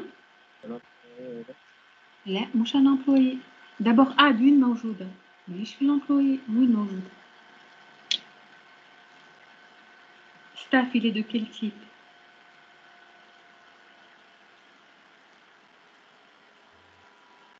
Je reprends, je voudrais, au lieu d'utiliser un tableau, utiliser le verbe. size plus plus. De Size avec, tu n'as pas besoin. Le vecteur gère son compteur automatiquement. Tu n'as pas besoin de faire size. Et automatiquement, un doit. madame euh, qui euh, a défini tout, euh, ma touche le time taille il va s'adapter automatiquement. Je n'ai pas besoin de lui donner une taille. Oh, automatiquement, il va s'incrémenter, il va rajouter des, de la mémoire au fur et à mesure que je vais rajouter des employés. Dynamiquement, moi. Et dynamiquement, c'est ça l'intérêt, c'est tout à fait le mot, exact. C'est, il, il, est dynamique. Tu n'as pas besoin de spécifier la taille maximale et tu n'as pas besoin de gérer le compteur. Mata le compteur, le sommet de la pile, mata la première case vide. Il le fait automatiquement. اه دونك مادام ستاف بوان بوش باك لا ماهيش بوش باك عادي فما اسهل فما انويمون ميثود اعطيني واحده اسهل اما بوب اب ظهر لي زاد نو نو آه، pop up بس. pour ajouter un add element voilà add element qui prend quoi comme paramètre Objet. tout à fait eux donc هي في السيناتور نتاعي وعلاش مش بوش باك مادام نفس الحكايه ولا اقرا لي ترى خاطر أنا ما نجمش نقول لك ولا نو خاطر فما دي سونتين دو ميثود راه وفما دي سوبتيليتي انا عمري ما استعملتها مي سي تو مو لي آه. لا جافا دوك نجمو نقراو Ça peut être pushback déjà, ça, m'a- ça, veut dire, ça veut dire qu'il y a quand même un- une petite nuance. بالنسبة à add element. Tu comprends ce que je veux dire Il faut que je lise les spécifications avant de te dire oui ou non. Moi, celle que je connais et que j'utilise le plus souvent, c'est tout simplement la méthode element. Add element, ça marche. تنجمش تقرا لي البوش باك اش تعمل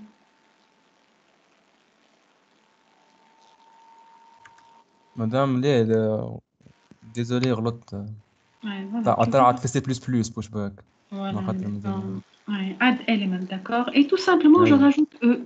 Donc ici, ici, la méthode add telle qu'elle a été définie dans la classe vector, elle prend object O. Object O. Donc, elle est très faiblement typée. Et ça tombe bien, toutes les classes héritent d'objects, donc je peux très bien lui passer un employé E. C'est ce qu'on appelle aussi le upcasting. Marata object, le casquette object, je peux lui passer n'importe quelle sous-catégorie d'object. Et comme toutes les classes héritent d'object, je peux très bien faire add element.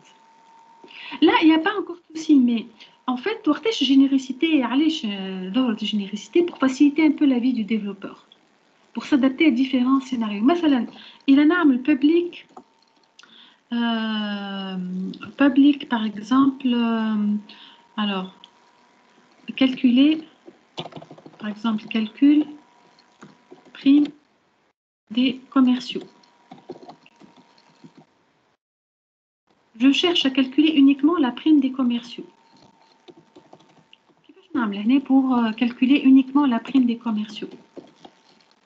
je vous rappelle que double prime commerciale c'est le montant total des primes uniquement des commerciaux وتعرفوا في الشركة هذه ما عنديش que des commerciaux عندي des techniciens mais نحب نكلكل l'année que la prime des commerciaux comment je fais Bien entendu, je peux faire une boucle pour allant int i égale à 0. L'intérêt ici, c'est d'aller jusqu'à i.size,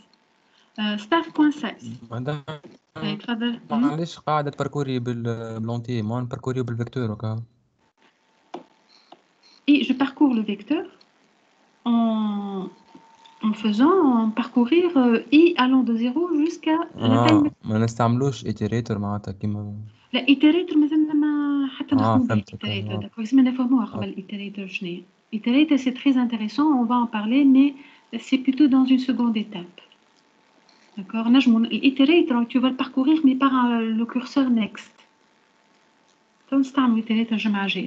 vous pouvez le faire très facilement comme ça ou en utilisant le, curseur d'itération. Mais ça, c'est plus simple. Donc, en fait, la taille, le nombre maximum d'objets dans le vecteur, c'est donné par le size.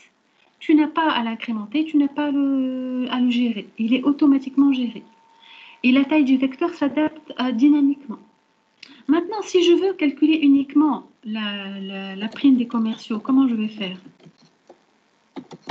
Qu'est-ce que je vais écrire ici? Euh,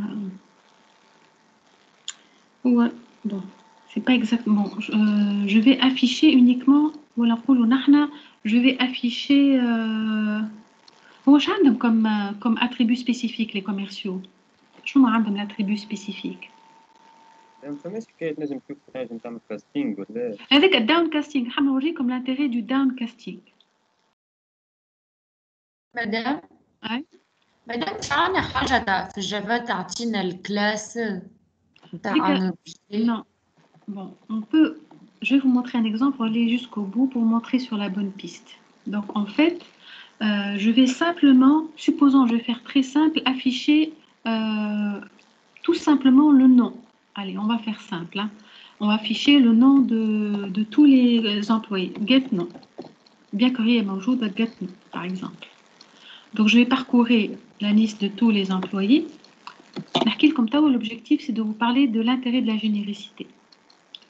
Pour y allant de zéro, tant que je fiche le, tant que je parcours le vecteur, je vais afficher, donc je vais faire un système out là où je fais l'exemple très simple pour vous montrer euh, un détail particulièrement.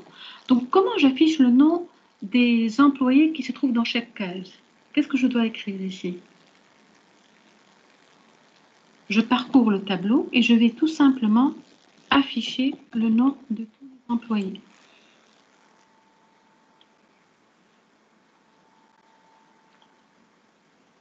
مادام هي قالت نو في في لي كلاس الكل عملناها Non, موجودة في الكلاس employé déjà. Normalement ماهيش في لي كلاس الكل. معناها عندكم get titre موجودة في الكلاس الكل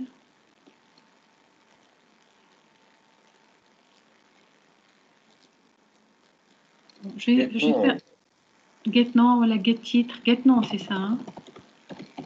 on va on va en parler ensuite ici je voudrais faire staff point comment je récupère un élément dans le vecteur? Voilà, afficher non. Je vais l'année, afficher non. Alors, comment je récupère un élément dans le vecteur? Je vais une méthode permettant de récupérer un, un objet dans la IMCAS. Element at. Voilà, element at. Element at. Elle vous retourne quoi? Element at. Quel type de retour L'objet. L'objet. Donc, si je retourne un objet, est-ce que je peux faire ici get non, point get non Voilà get titre, voilà whatever method موجودة dans une méthode employée. Voilà, حتى calculer salaire, tiens. ما حتى مشكل calculer calcul salaire. Vous allez voir où est-ce que je veux en venir. Est-ce que la méthode calculer salaire, il va la trouver dans quelle classe là Staff.element at i et de quel type? Employé. Non, pas de type employé. dynamique. Quel est le, le type retourné par element at?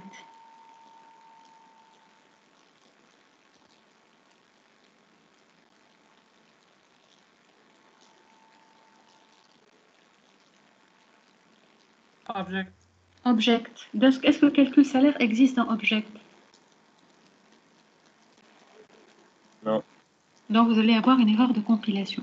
Donc généralement, le développeur, pour pallier à ce problème, il va venir faire ce qu'on appelle un downcasting. Il va forcer staff.elementAtI d'être de type employé, ce qu'on appelle le downcasting. Le type qui est retourné, qui est de type object, il va le forcer. Donc tout ça, ça devient quoi? Ça devient un employé et du coup ça va compiler puisque la méthode calcul salaire existe dans employé. n'est affiché salaire par exemple. Mais en utilisant, au lieu des tableaux, on utilise les collections. Donc le problème ne se pose pas quand vous avez affaire à des tableaux parce que le tableau est fortement typé. Alors que les vecteurs et les collections en général sont faiblement typés. Sauf si vous utilisez notamment la généricité. Donc, l'année, je vais vous montrer comment vous pouvez terrain pour la semaine prochaine. Je m'explique. Les collections sont faites à l'origine avec les jusqu'au JDK5 pour être faiblement typées. Marata, vecteur contient des objets. Ça ne peut être qu'un vecteur du type le plus vague possible, il est object. Du coup, quand Starmlo, vous, avez, vous utilisez les collections, vous pouvez rajouter n'importe quel objet, mais au moment de manipuler les objets, vous êtes obligé de, de faire de du forçage vers le bas. Parce que les collections vous retournent, vous retournent des objets, donc vous êtes obligé de les retyper. Avec la généricité, on va introduire une solution en même temps flexible, mais facilitant la vie du développeur. Donc on va garder la possibilité de créer des tableaux, voilà, des vecteurs synchroniques. On va pouvoir créer des vecteurs d'employés. Du coup, on n'aura plus à faire ce forçage. Donc la généricité, c'est un framework qui a été introduit pour permettre de garder des collections euh, neutres quelque part, mais aussi de pouvoir les typer en quelque sorte. Des vecteurs euh, d'employés, des maps de, oui, des maps de, de figures, d'accord? Et ça va permettre un petit peu de faciliter la vie du développeur. Donc, on va pouvoir euh, manipuler des, vecteurs d'employés. Donc, généralement, vous allez trouver ça.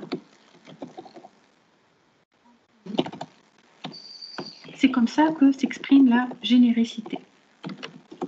Donc, ça veut dire que Java a préparé pour vous un vecteur qui, euh, est neutre. En rajoutant cette notation, vous créez un vecteur d'employé et du coup, ça va vous permettre un petit peu de vous débarrasser du forçage. Donc la généricité, ça a été greffé, c'est venu par la suite, à partir de la version 5, pour faciliter la vie du développeur et pour lui permettre d'utiliser les collections beaucoup plus simplement. Sauf que la généricité, elle a, été, elle a été généralisée à des méthodes génériques, des collections génériques et autres. Donc on va balayer ce concept-là qui nécessite un petit peu de maturation de votre part la semaine prochaine, les généricités et les collections. Donc pour la semaine prochaine, vous uploadez euh, ce que vous avez trouvé sur la généricité, ce que vous avez compris, ben, pour, préparer le terrain. D'accord? Et puis, on va faire un cours sur ça. Donc, on va faire plutôt le cours de la généricité des collections la semaine prochaine.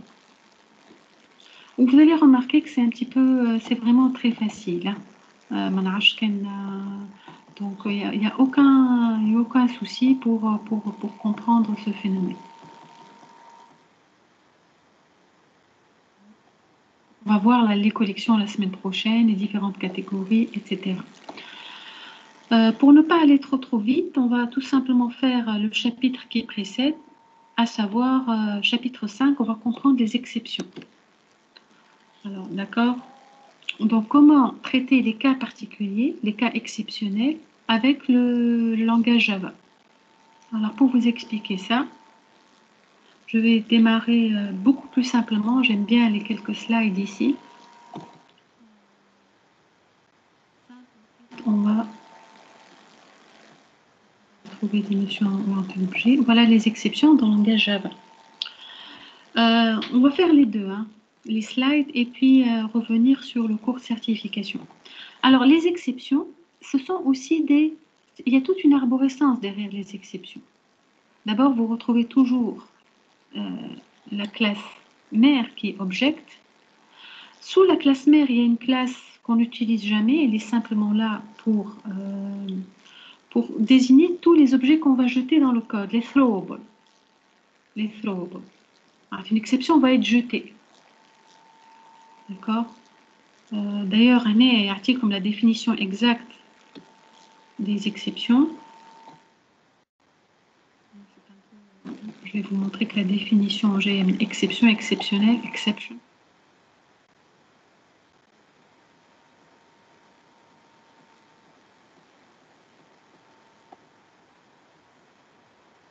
Euh, je vais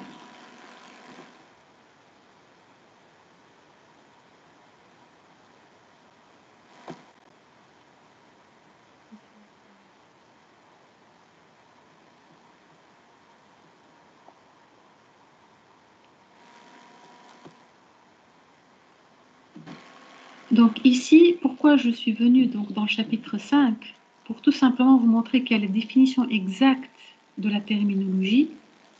Before we begin, let's introduce some terminology. The term exceptions mean exceptional conditions. Donc ce sont des conditions exceptionnelles qui arrivent dans le flow normal d'un programme. D'accord? Donc c'est comme ça qu'il faut retenir quelque chose qui est plutôt hors, normalité. D'accord Et l'idée, c'est un petit peu de, pour que le programme soit fiable, de gérer ces exceptions correctement. C'est normal de prévoir. Mais tu vas prendre les précautions et sortir avec un parapluie. Donc, avoir des conditions exceptionnelles dans un programme, c'est quelque chose de normal. Mais il va falloir penser à les gérer. Alors maintenant, ce qu'il faut donc savoir que toutes ces conditions exceptionnelles, elles héritent d'une classe mère qui s'appelle throwable. Ce programme, il ne va pas les digérer, il va les jeter.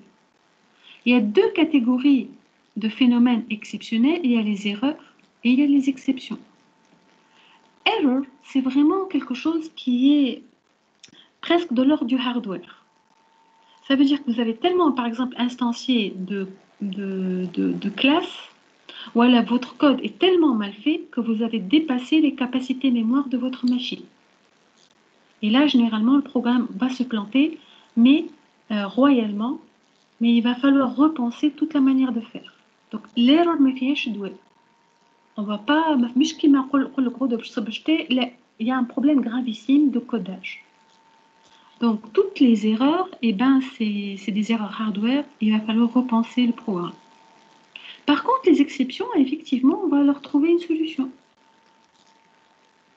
Par exemple les exceptions les plus courantes quand je fais int i égale à 12 sur 0 vous allez jeter une exception. votre programme va jeter une exception. Comme j'ai fait une exception.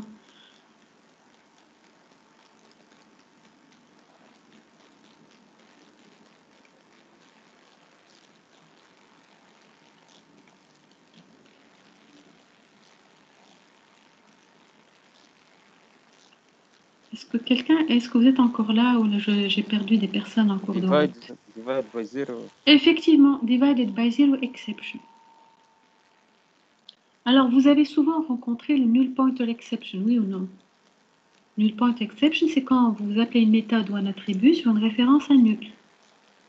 Donc, par exemple, si je prends, je prends un programme, je faire un fichier nouveau.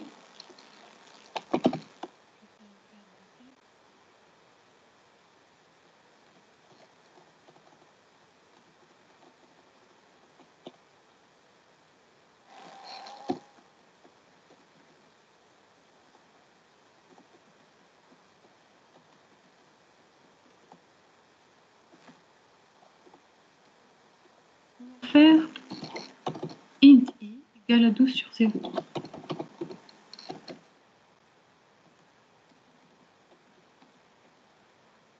Alors remarquez que ce n'est pas une exception qui se produit à la compilation. Donc le programme va compiler correctement et il va bugger à l'exécution. Donc je vais l'appeler test.java. T majuscule compiler et exécuter. Donc Java fait.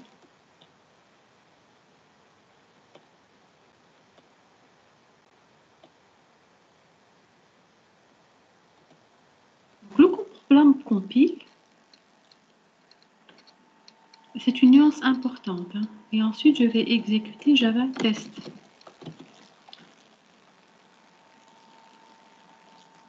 Donc, exception, du type arithmétique, division by zero. c'est division par zéro. Voilà. Donc c'est un bug qui va faire, c'est pas un bug, c'est une exception qui va faire en, sorte d'arrêter le flux normal de votre programme. Par exemple, quand je fais un tableau image IM, new image de 4, et je cherche à afficher image de 0 point string, quelle est l'exception qui va apparaître avec ce bout de code là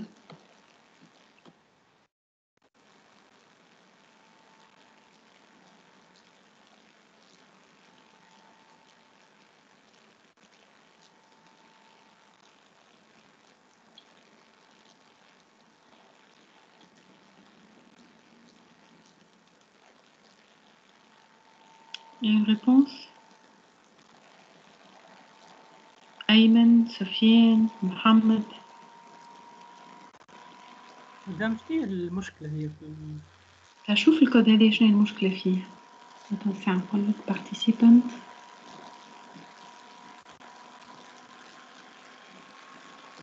عاود نعاودو لك الكود فيه مشكلة الكود ولا ما فيهش هنا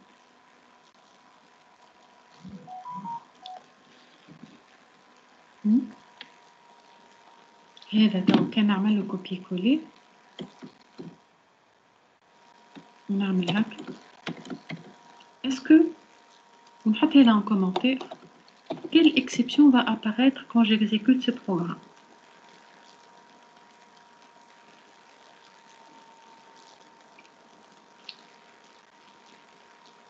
هو فيه مشكلة ولا ما فيهش مشكلة مادام الميثود تو سترينغ يا أخي نلقاوها في إيماج نحنا كلاس إيماج C'est pas, ça sert à rien de répondre à la question vu qu'on n'en est pas encore arrivé là. مادام لازم نحطوا صفر تنجم تحط صفر التابلو يمشي من صفر حتى لثلاثة. وين المشكلة ترى؟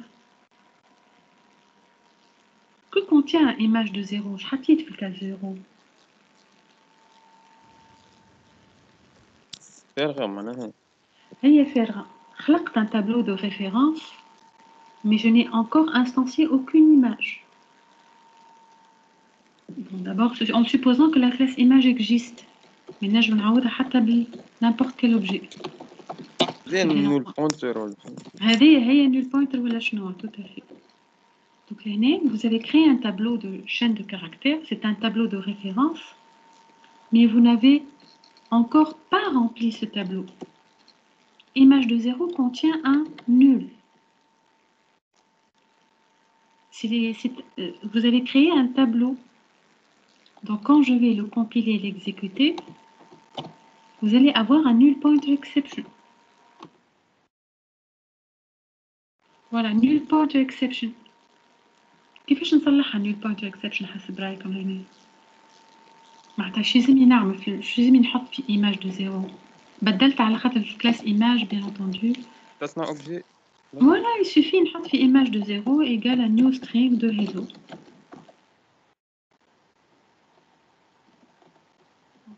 de caractères, c'est euh, les objets qu'on peut instancier par le new ou sans le new.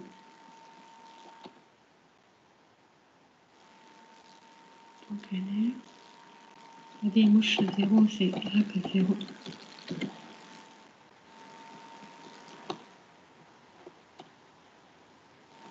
Le réexécuter, ça va marcher. Hello. Donc attention, hein, c'est pas parce que euh, euh, vous avez créé un tableau que forcément les cases du tableau euh, ben, contiennent quelque chose. C'est un tableau de nul. Il ne faut pas oublier de, le remplir. Donc ça, c'est la fameuse exception null pointer exception. Y a énormément d'exceptions qui existent dans l'API. On a division by zero, null pointer, un forçage vers le bas, class cast exception. que tu forces vers employé alors que l'objet, euh, c'est autre chose. Par exemple, tu donnes une taille négative. Negative array size, une taille négative. D'accord? Ok, donc euh, euh, même si ça compile, vous allez voir la différence. Hein.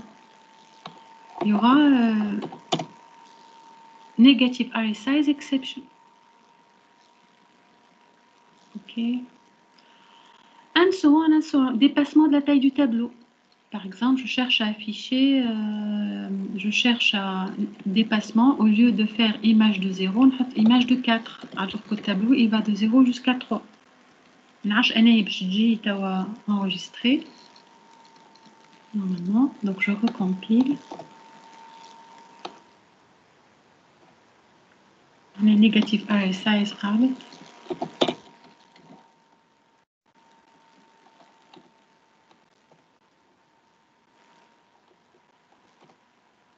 Voilà, array index out of bounds.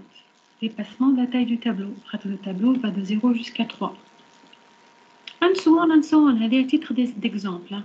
Donc, pour revenir, en fait, comme les erreurs, je n'y peux rien du tout, et comme toutes les exceptions, il faut savoir que toutes les exceptions que vous avez vues héritent de la classe mère exception. Elle est la classe mère de toutes les exceptions. Ou sont des sous-classes. Class cast, negative size, division by zero. Et il y a une organisation, comme une classe arithmétique, comme, etc. Donc, les exceptions sont organisées.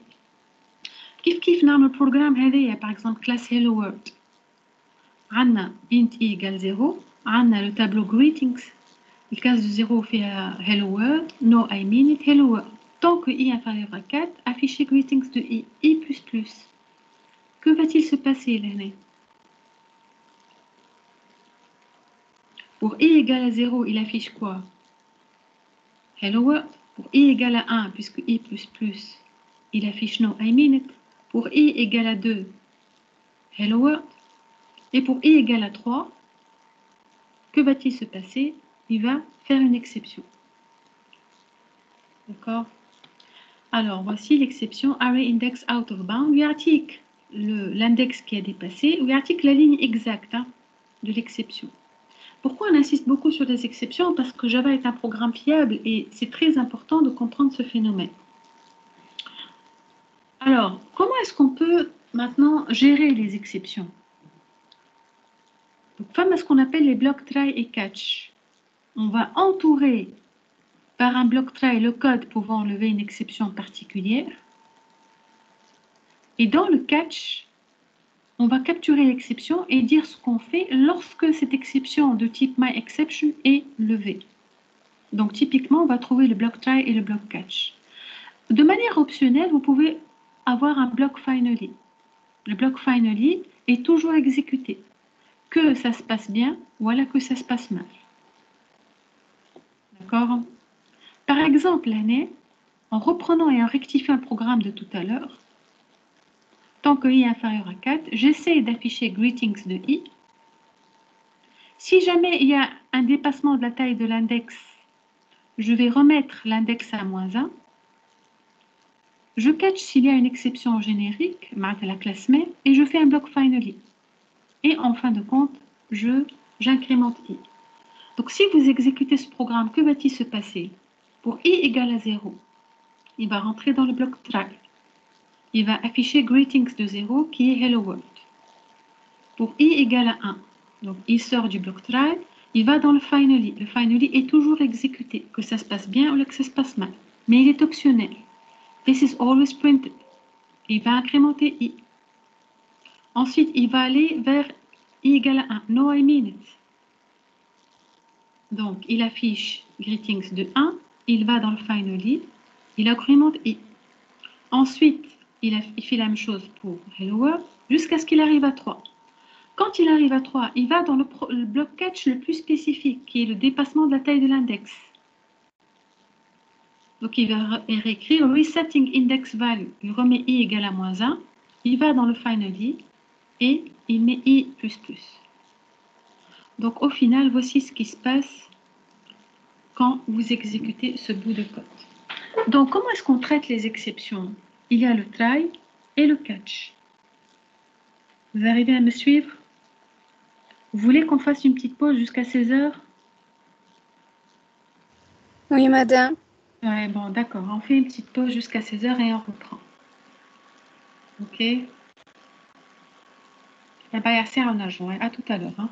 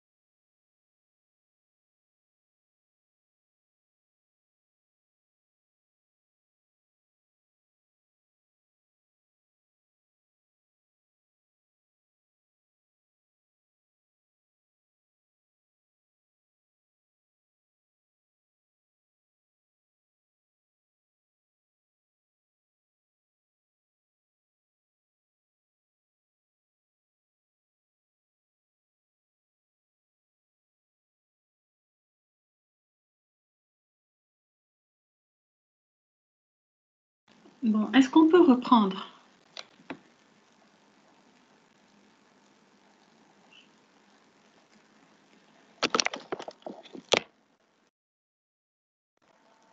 Et euh, est-ce qu'on peut répondre Salma Bhaj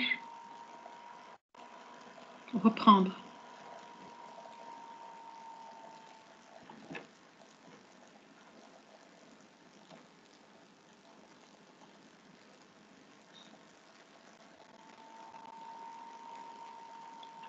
Fait Est-ce qu'on peut reprendre?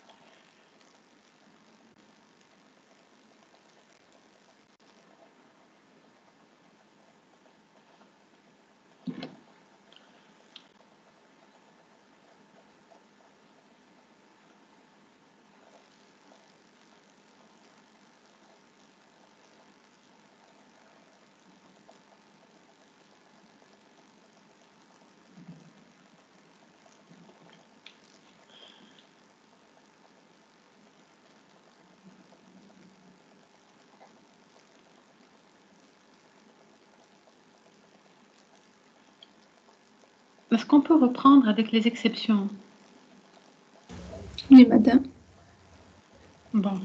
Alors, pour, donc, comme c'est un mécanisme qu'il faut bien comprendre parce que euh, c'est un point de passage obligé pour le langage Java. Donc, on ne peut avancer l'écriture et les lectures, les collections, dans tout le reste de la programmation. Il va falloir une fois, une bonne fois pour toutes, comprendre comment est-ce qu'on traite les exceptions. Donc, je vais copier l'exemple de tout à l'heure. Je vais l'écrire dans un programme de, dans notre programme de test. Et puis,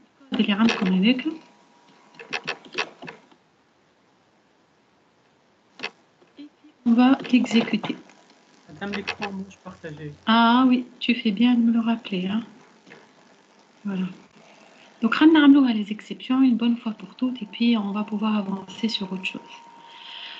Euh, donc ça, c'est la méthode main. Donc, je vais end main, end. Donc, je reprends tout simplement pour vous dire quelle est la manière avec laquelle on va pouvoir empêcher notre programme de s'arrêter brusquement. Donc, on a tout simplement créé un tableau, c'est basique, on l'a rempli pour illustrer le flux des exceptions. Tant que i est inférieur à 4, de 0 jusqu'à 1 jusqu'à 2. Ça va mettre le partage. Ah bon, Ahmed, tu partages mes ailes Voilà. Donc ça fonctionne correctement pour 0, ça fonctionne correctement pour 1, ça fonctionne correctement pour 2, mais pour toi, ça va, pour 3, ça va se planter. On est bien d'accord. Le tableau va de 0, 1 à 2. Alors, quand, donc, la première chose qu'il va lire, c'est le bloc try. Donc, il va rentrer là. Essayez d'afficher greetings de i. S'il n'y a aucun problème, il va ignorer les blocs catch, le premier catch et le deuxième. Catch, ça veut dire attraper. Donc, catcher, ça veut dire attraper. Et en fait, il va, vous pouvez attraper plusieurs exceptions. Ça veut dire que dans le try, je peux avoir des instructions qui génère plusieurs exceptions. Or, l'année, il n'y aura qu'une seule exception qui sera générée, c'est le dépassement de la taille du tableau. Donc, il va rentrer en cas de problème ici. S'il rentre ici, s'il va dans ce premier bloc, il ne va pas dans le deuxième. Donc, cette exception qui est jetée, permettez-moi d'utiliser ce mot, elle est tuée une et une seule fois. Elle est attrapée et détruite une et une seule fois, dans un seul bloc. إذا إذا هذا كاتشيها سي فيني ما تدخلش في الكلاتش الثاني bien que هذه hérite de هذه le bloc finally il est toujours exécuté que ça se passe mal ou que ça se passe bien il est optionnel نجم نحيه نجم نخليه نجم نحيه alors je vais enregistrer donc ce programme donc il va afficher il va marcher correctement ici ensuite il va aller dans le finally il va incrémenter i, revenir là, aller dans le finally. Pour, pour i égale 2, il va venir là, 0, 1, 2, et aller ici. Et pour en fin de compte i égale 3, il y aura une exception c'est un dépassement de la taille du tableau. Donc l'exception, elle est capturée ici. To catch en anglais, ça veut dire capturer. Il va afficher ses instructions, remettre l'index à moins 1 et revenir ici. Donc quelque part, c'est un programme, bon, bah, au final, on aura une boucle infinie. Parce qu'à chaque fois qu'il y a une erreur, je mets i à moins 1 et je reprends. Bon, ça c'est un exemple. Hein. Ça ne veut pas dire qu'à chaque fois j'ai des boucles infinies, mais c'est tout simplement un exemple. Vous allez remarquer qu'on l'exécute. On va le compiler d'abord. Et donc je vais euh, l'exécuter.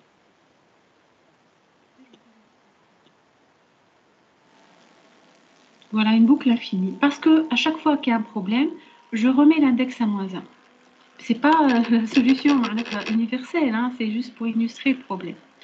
Donc déjà, ce qu'on sait déjà qu'on peut capturer l'exception et lui trouver éventuellement une solution. C'est ça le principe. Et une exception, il n'y a rien de plus normal. Je peux par exemple vouloir écrire dans un fichier et le fichier n'existe pas. C'est normal, quelque part. On ne va pas euh, faire, laisser un programme se planter à cause de ça. Je m'arrête à se planter, taillé brutalement. Alors revenons un petit peu les, sur les catégories d'exception.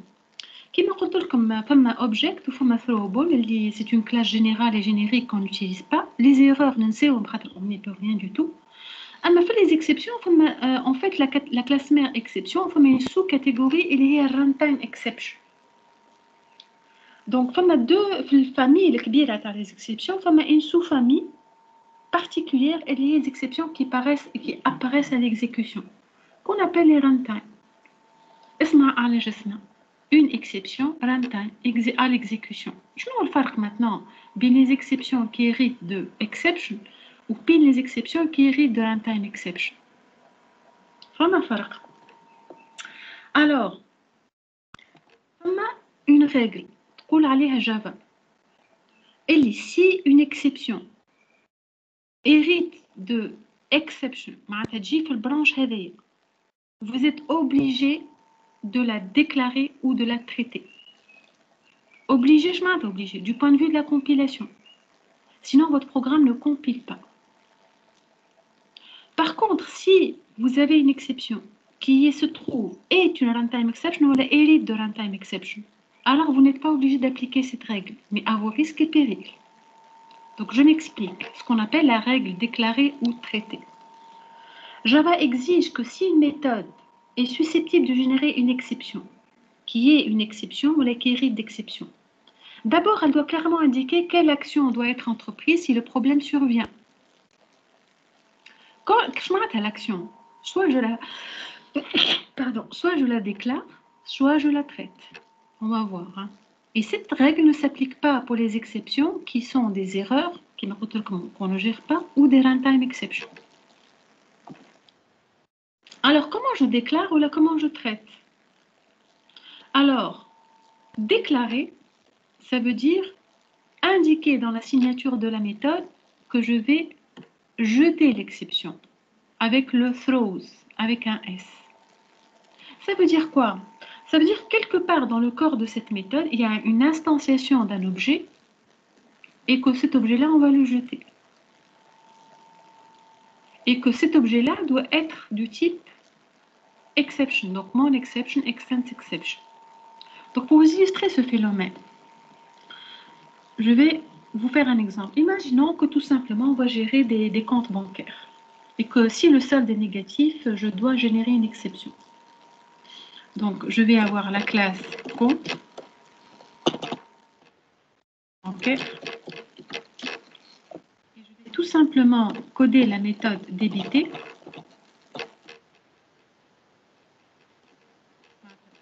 de l'argent. On va on on va supposer que c'est des entiers. Et on va, on a un int solde va faire débiter, c'est quoi? Solde égale à solde moins montant.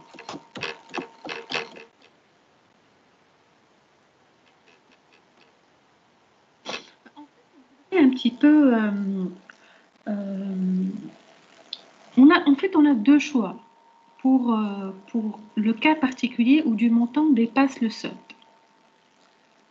Le premier choix, c'est de faire un if, if le montant est supérieur au solde. Qu'est-ce que je peux faire? Afficher un message d'erreur. Donc système.out.println une erreur.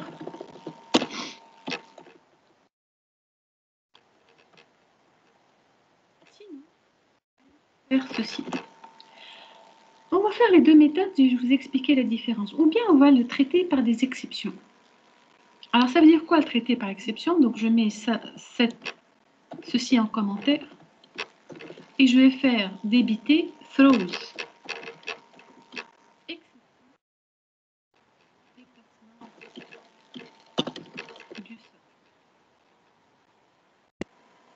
Alors si je fais ça, vous allez voir qu'il va falloir écrire, créer, c'est une exception que j'ai créée moi-même. Il y a énormément d'exceptions qui préexistent en Java et vous avez le droit de créer vos propres exceptions. Comment est-ce que je crée ma propre exception En faisant exception, dépassement du sol? Expense tout simplement la classe mère exception.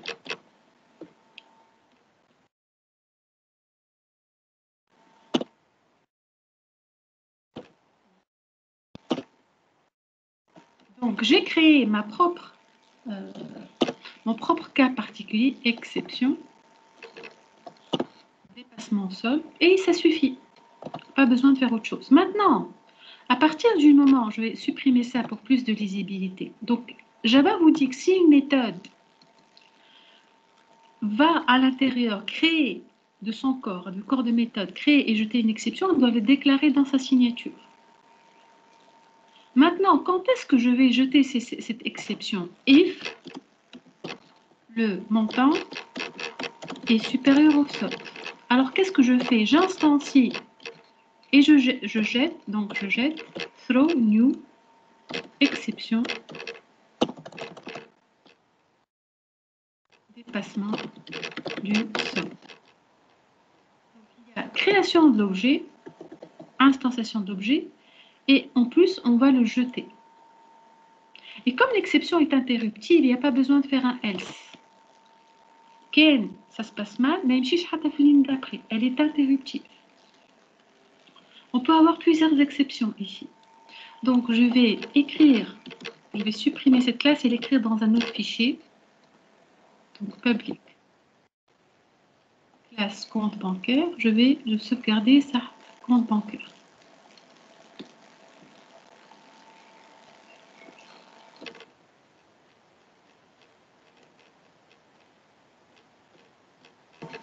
Et puis, je vais créer un nouveau fichier dans lequel je vais avoir la classe.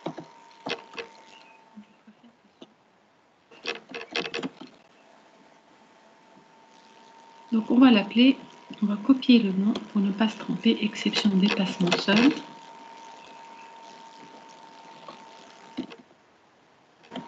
Java. Alors, j'ai prévu le cas je réouvre le compte bancaire et dire au compte bancaire, si jamais je n'arrive pas à débiter, dans quel cas je n'arrive pas à débiter, le montant est supérieur au solde, je jette une exception. Mais je suis obligé, Java m'oblige à le déclarer dans la signature de la méthode. Et maintenant, je vais compiler, donc je vais faire un Java C, compte bancaire. Et donc, il y a une compilation incrémentale. Automatiquement, il va compiler l'exception. S'il n'y a pas de problème. Hein. Alors ici,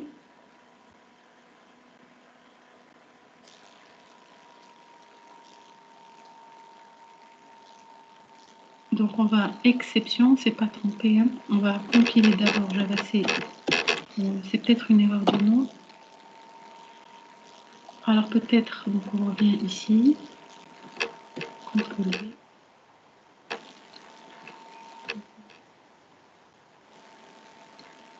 pour ne pas se tromper de nom. Voilà ça compilé.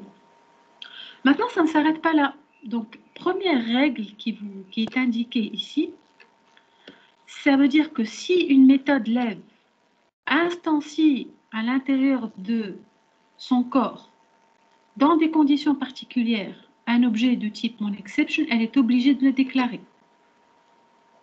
Et que mon exception liée à un dépassement du solde est en exception. Maintenant, pour aller plus loin dans la théorie, donc ici je déclare. Supposons que vous avez une méthode lance qui appelle la méthode lève. Alors je m'explique. Lève, c'est l'équivalent de débiter. Je vais avoir, je vais avoir un test je vais ouvrir la classe test de tout à l'heure, elle fait un. Vous m'interrompez à tout moment. Hein. Fait on va supprimer, on va garder simplement le mail. Imaginons que j'instancie un compte bancaire et P égale new compte bancaire. Et que je fasse CB point quoi débiter de 10. C'est pour ce programme. Est-ce qu'il va compiler ou pas? Donc vous avez une méthode débitée qui va jeter une exception qui est de type exception, qui n'est pas un runtime exception. Donc je rappelle un petit peu que vous êtes dans la catégorie exception sont pas des runtime exceptions. On va voir la différence. Donc ici, quand je vais essayer de, donc j'enregistre et quand je compile mon programme, quand je fais java c test.java, le compilateur va s'énerver. Il m'a dit unreported exception, exception dépassement seul, must be caught or declared. Donc elle doit être soit catchée, attrapée, soit déclarée. Je m'arrête à attraper. Donc ça veut dire l'année que je dois faire quoi? Un try et quoi d'autre? Essayez. Sinon, je vais catcher quoi Elle est au dépassement solde E et là je vais afficher un message d'erreur. Voilà que je voudrais savoir parce que c'est bizarre, vous êtes très silencieux. Est-ce que vous êtes encore là Vous me suivez ou pas Marine, tu es là Marine Shrif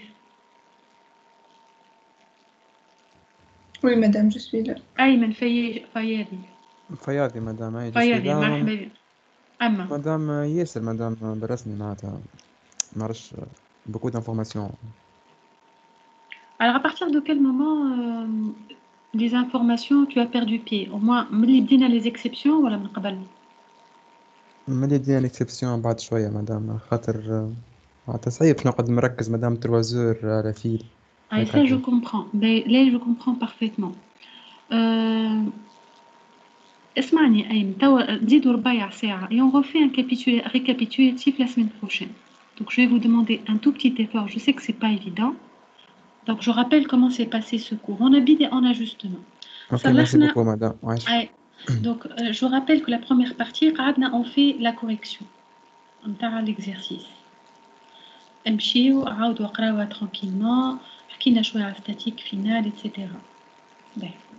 بعد c'est vrai qu'on a essayé de faire un petit peu une transition vers les collections. Mais les collections, je fais comme j'ai fait l'année dernière, je préfère les étudiants d'abord, ils font un petit effort. Donc, à je comme un petit effort de recherche le GMAG. Donc, du coup, ça fait effectivement une transition un peu, peut-être rapide pour vous. On va les exceptions. Mais je ne علاش نحكيو على لي زيكسيبسيون خاطر سي اون كولوم فيرتيبرال في اللونغاج سي فري كو مانيش باش نحكيو ني على الفيكتور ني على دي كلاس ابستريت ني مي la gestion des erreurs fait partie intégrante d'une bonne programmation لازمنا نحكيو عليها سهل على الاخر en fait كي تجي تشوف سهله مانيش باش ندخل برشا في الديتاي un programme qui jette une exception اللي فيه une anormalité نحاولوا ما يقفش brutalement كيفاش ما يقفش brutalement en faisant des try et des catch essayez de faire un petit bloc des instructions si jamais il y a une exception on l'attrape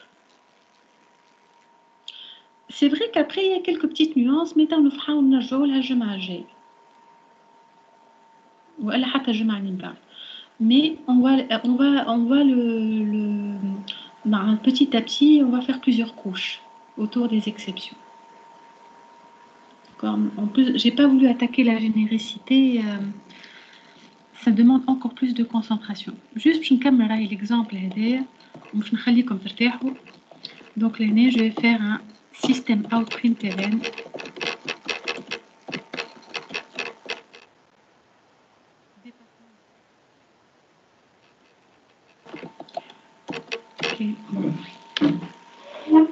Alors, petit 1, ce qu'il faut savoir, c'est qu'il faut éviter de laisser un programme s'arrêter. Petit 2, c'est que vous pouvez créer vos propres exceptions.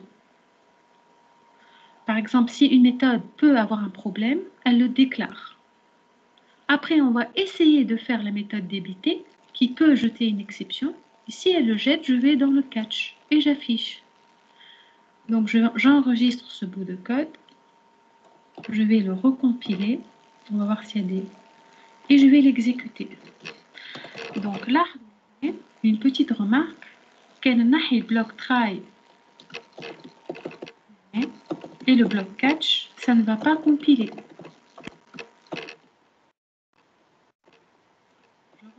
Donc, j'appelle une méthode qui peut échouer, la méthode débitée, et je n'ai pas trouvé une stratégie pour dire qu'est-ce que je fais en cas d'échec.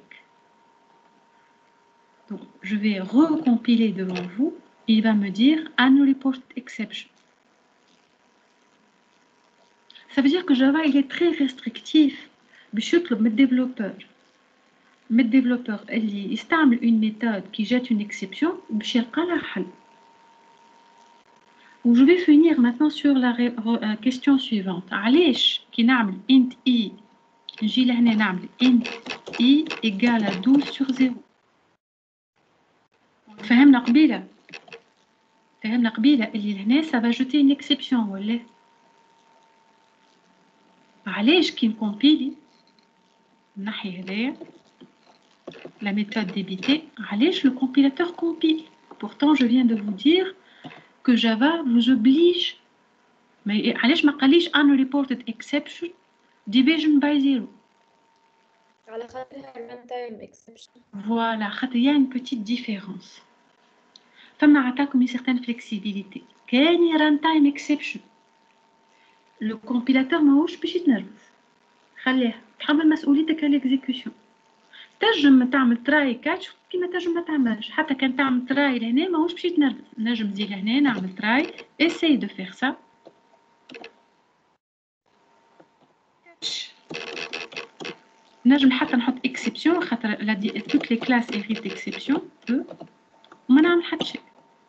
Je peux le faire comme je peux ne pas le faire. C'est un luxe de le faire. Donc, la catégorie des runtime exceptions, elle est entre les mailles du filet de la compilation, mais tu as fait l'exécution. Oui. أي exception prédéfinie هي runtime exception؟ لا لا هذا نرجعوا للجافا Le Java Doc,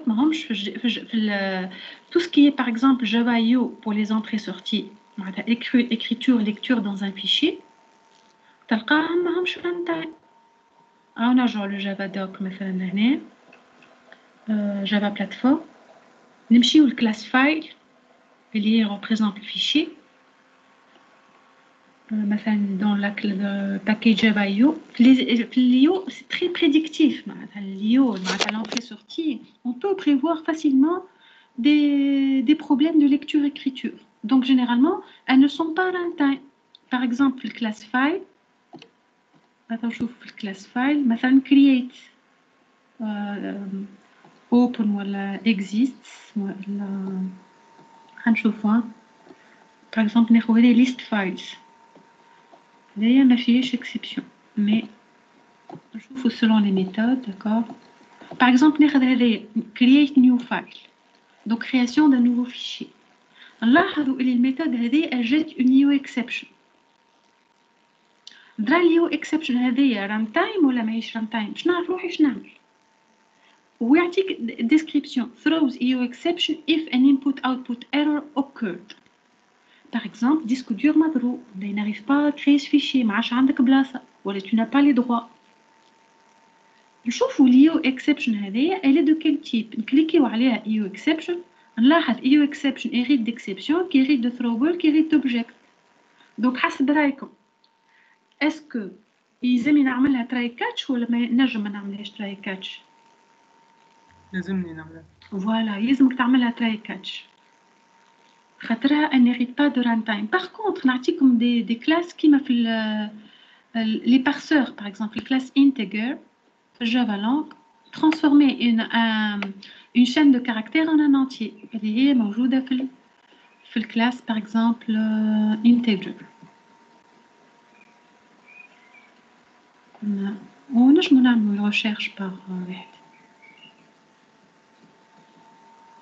all classes مثلا نجيو لهنا ونشيرش كيفاش la, la classe entier integer je lui passe un entier وتبارسيولي معناتها elle le transforme donc نمشي la classe integer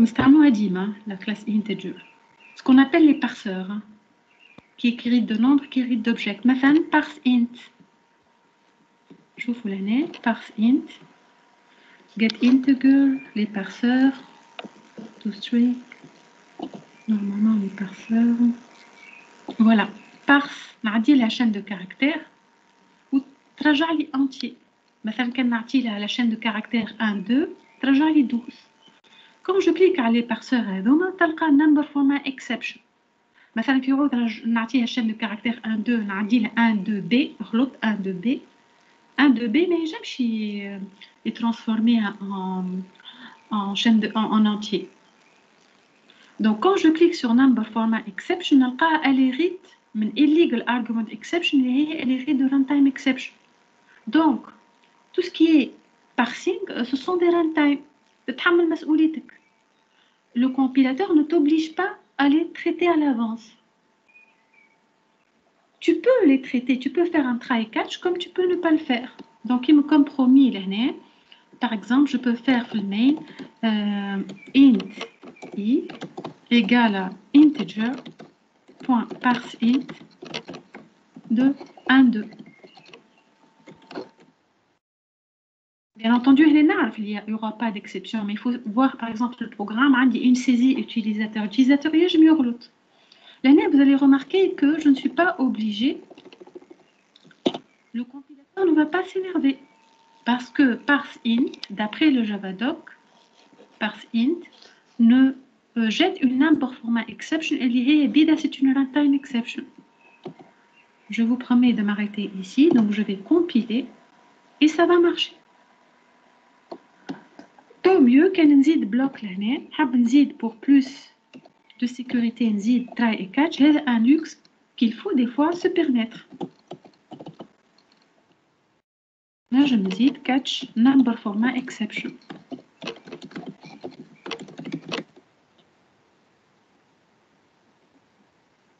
ونعرفوا اللي برشا خلطوا un petit peu degré de saturation هنا نعمل un affichage d'un message Maintenant, dans, en ce stade-là, les exceptions حاجة عادية حاجة عادية على الآخر d'ailleurs يلزم الديفلوبور يعمل ses propres exceptions نرجعو علاش جافا اش يقولك فما دي exceptions بون خليوهم runtime exception il y a pas des des ما فماش قانون صعيب برشا في الكومبيلاسيون هما runtime دونك لازم كل ما تستعمل الجافا دوك وتستعمل ميثود من لابي تعرف شنو هي الكاتيجوري والا فما لي زيكسيبسيون اللي هما ديريكتومون لي ريتيوم اكسبشن القانون ستريكت القانون تاع كومبيلاسيون ستريكت تراي كاتش والا تنشوفوا حل واحد اخر الجمعه الجايه Je sais que c'est pas évident d'écouter pendant deux heures de temps. Normalement, vous devez être partie prenante. Donc, euh, je vais vous donner un ou deux petits exercices à les exceptions. Je vais comme un petit peu vous plonger dans le monde de la généricité. باش نلقى une base نبنيو عليها من غير ما نقعد نحكي أنا la semaine prochaine. مش من غير ما نقعد نحكي mais vous avez quand même fait un petit effort de recherche de votre côté. Et c'est un travail qui sera noté. Hein. مدام Donc, أي تفضل. هذا ما فهمتش الخدمة اللي عطيتها لنا كيفاش معناها باش نكتبوا حاجة نحنا ولا نعملوا آه، ناخذوا هكا حاجات من الانترنت نحطوهم لك في دوكيومون ولا كيفاش Voilà, vous allez faire un travail de sélection et en même temps de compréhension. Ça veut dire quoi vous allez, vous allez rechercher quelle est la définition de la généricité exacte. Ensuite, quels sont les types de généricité Et pour chaque type, vous allez chercher un exemple et le comprendre. D'accord Donc c'est ça l'objectif, c'est de faire un pas, tout matin, un pas vers la généricité, comme l'ont fait les RT2 l'année dernière avant vous. D'accord? Faire un petit pas pour comprendre c'est quoi ce concept. Bon, de toute façon, kif kif, ma'alouma à internet, je ne vais pas vous dire non. Mais euh, ce n'est pas uniquement du copier-coller, d'accord? C'est quand même, petit 1, hein, définition, et historique, ou l'intérêt Deuxièmement, les types. Troisièmement, un exemple pour chaque type. Alors, vous avez euh, des tonnes et des tonnes, des milliers et des milliers de sites qui parlent de la générosité. À vous de sélectionner les, les exemples les plus basiques. Ça marche. Et ne pas dépasser trois pages pour chaque cas de généricité, un petit exemple, idéalement, quand euh, vous arrivez à le, à le coder facilement. Est-ce que j'ai répondu à ta question? Oui, madame. c'est euh, trois à quatre pages maximum. Hein. Et puis, donc, la semaine prochaine, quand vous aurez préparé ce travail, comme on clôture les exceptions, on a des QCM, hein, les exceptions, et on reprend ce que vous avez retenu, chacun ce qu'il a retenu ou ce qu'il n'a pas arrivé à retenir, neuf généricité pour bâtir dessus la notion de collection, pour voir les différentes collections. On a encore une à deux séances pour clôturer le chapitre généricité, exception et collection. On peut se donner jusqu'avant des avant les, les, les vacances. le rythme comme ça marche?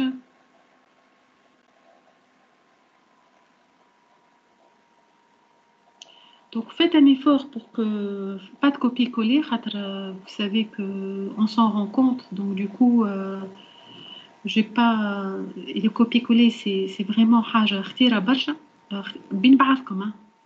Chacun son propre travail, sa propre sélection de documents, sa propre recherche d'informations.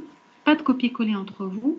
Je vais mettre un, un répertoire compte rendu généricité et vous uploadez votre recherche en PDF sur ce répertoire. Bon, je pas. Euh, je sais que vous avez fait un effort, c'est pas évident. Euh, je comme un, des petits exercices à faire. C'est quand même un atelier, mais je. Et de plus en plus, je comme tout, on fait comme ça. À part le recherche, on a des exercices à faire. Attends, نعطيك un ou deux exercices معناتها simplement مادام مش كاين برشا شوية مادام على خاطر نحنا مادام عندنا برشا تبيات جد آخرين بار الجافا معناتها مش كاين. نسر ما نعرفش نسر فيك وكا. على خاطر مادام ريشيرش وديزيرسيس وعندنا وعندنا مادام سامحني مادام عندنا نوف ماتيغ جدد معناتها يونيكس ودرا قداش من حاجة جديدة معناتها. معناتها مازلنا مادام قاعدين باهي خليكم مالا باهي خليكم مالا vous déjà vous concentrer sur une seule chose d'accord il faut pas il faut pas être non plus معناتها عندك حق tu soulèves ce, ce problème il vaut mieux avoir معناتها peu de tâches mais bien les faire ou peu d'objectifs mais se concentrer dessus خاطر مادام سامحني مادام حتى في الريشيرش مادام معناتها نعرف روحي كي نبدا معناتها ماهيش معناتها كونسونتري فيها مادام باش نبلفط معناتها باش نقعد نعمل كوبي كولي معناتها معناتها الفو ميو مادام شويه حاجات ونركزوا فيهم معناتها معناتها روسو 5 سور 5 روسو 5 سور هو علاش انا عملت هكايا على خاطر اون جينيرال في الاتولي لي زيتيديون ديفلوب Tu comprends Comme vous n'avez pas trop mis la main à la pâte, هذاك علاش قلت مصاب vous mettez la main à la pâte.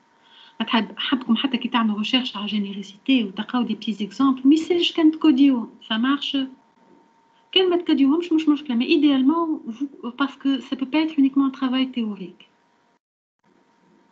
واضح مدام واضح معناتها حاول كان تلقى كونسيبت وديما تلقى دي كونسيبت فيهم دي بتي زيكزامبل ما يفوتوش 4 à 5 lignes D'accord Donc, vous essayez simplement de décoder. On fait comme ça, Aïmena Ok, merci beaucoup, madame. Bon travail et à la semaine prochaine. Quand on a une remarque sur le rythme, on peut toujours ajuster. Hein. Faire moins de théorie, plus de pratique, c'est toujours, possible. Donc, euh, bon, ben, on va se voir la semaine prochaine. En début de séance, on va essayer de faire d'autres ajustements. Bon travail à tout le monde et on se voit la semaine prochaine. Merci. Au revoir. Merci. Merci. Merci.